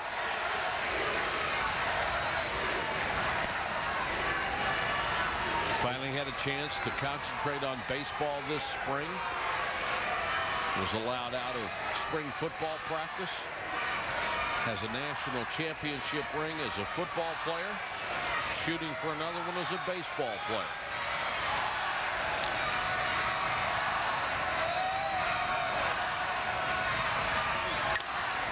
Breaking pitch fouled away. One one. You know, LSU, when they came here to the College World Series, almost felt like they were in their home stadium as loud as the fans are. And I think the fans are a little late with their cheering here. They averaged 9,600 at new Alex Box Stadium this year, drew over 400,000. But these fans have been sitting on their hands most of the game and have decided to wake up for the big finish. And I think this emotion would have been better spent the second, third, fourth, fifth, sixth, and seventh innings Well, if they they- could have kept it up. They did spend a lot in the rain delay. rain delay, a lot of energy. Strike on the corner. Well, they brought a lot of fans. Apparently, most of them forgot their shirts. Mr. and Mrs. Bertman. The skipper. A couple of very, very nice people and a legend in college baseball. Fastball just missed. Good eye by Mitchell, two and two. Well, every time I see this kid come to the plate, I go, oh, he's going to be special.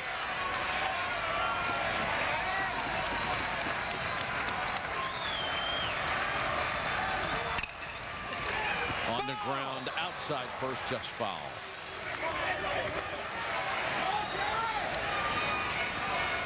He carries himself in a big league manner, not only on the field, but was up here in our booth doing an interview with Kyle Peterson. We were so impressed with the pre-conversation we had with him. Got to say hi, the way he handled himself in the interview. Very The way bright. he handled himself in just reading little comic strips for Yeah. us and his contagious laugh. Very, very bright. Great spokesman for LSU baseball and football, the entire athletic program. Two and two check swing. Could be a tough play for Torres. Had to gun it across and just got him. Holy cow. Mitchell was flying down the first base line. And here comes Paul Mainieri. He thought he had an infield single on a check swing. So did Les. I think Les is getting fired up for some football season.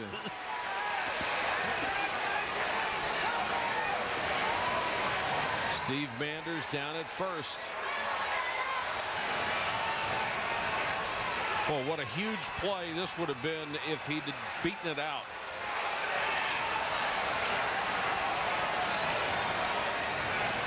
Out or safe? What do you think? I think he's out. I think he got him. By the length of a spike. Yeah. That's like a quarter of an inch. It's a great hustle out of the box. That check swing kept him in the box just long enough. If the check swing would have been a little bit more of a swing and not so much of a check, he would have been leaving the box and probably been safe. That's a heck of a play by Torres because he knows who's running and he's got to get that ball and get rid of it in a hurry. That was a sensational play. Yeah, it becomes a difficult play because you know that guy's fast going out of the box, and you have to air it out. You gotta you gotta put everything behind it and be quick with it. Boy, and that Mitchell's as fast as it gets. Now Leon Landry, the last chance. And LSU has had a total power failure tonight with runners in scoring position. They are 0 for 7. Just think if Mitchell beats that out, two runners aboard with only one out. Got a real rally going, but it wasn't. And this could, well, it's called a balk before the pitch. Play it up.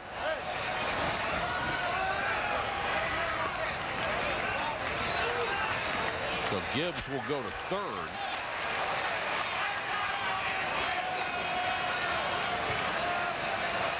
And I didn't see it in live action what he may have done. What happens is the pitcher balks. If he delivers the ball, the ball is still live, and the only thing that can happen negative to the offensive team is the runner's thrown out, it's called back, the runner gets to advance. But if the batter would have got a hit on it, it would have counted. The offense could allow it. Jungmann just pours it in there. He's probably a quick pitch balk where he didn't stop. And so when he delivers the ball, they call balk, but he threw the ball, so the batter's allowed to swing at it. It was called immediately. This one's fouled out of play. You pitchers are so sneaky. Any little trick. Trying to upset the hitter's timing. But they're one pitch away from a do or die game tomorrow. Two and two to Landry. Jungmann trying for the complete game win. And got it. Taylor Jungmann has kept Texas alive. They will play tomorrow night for a national championship.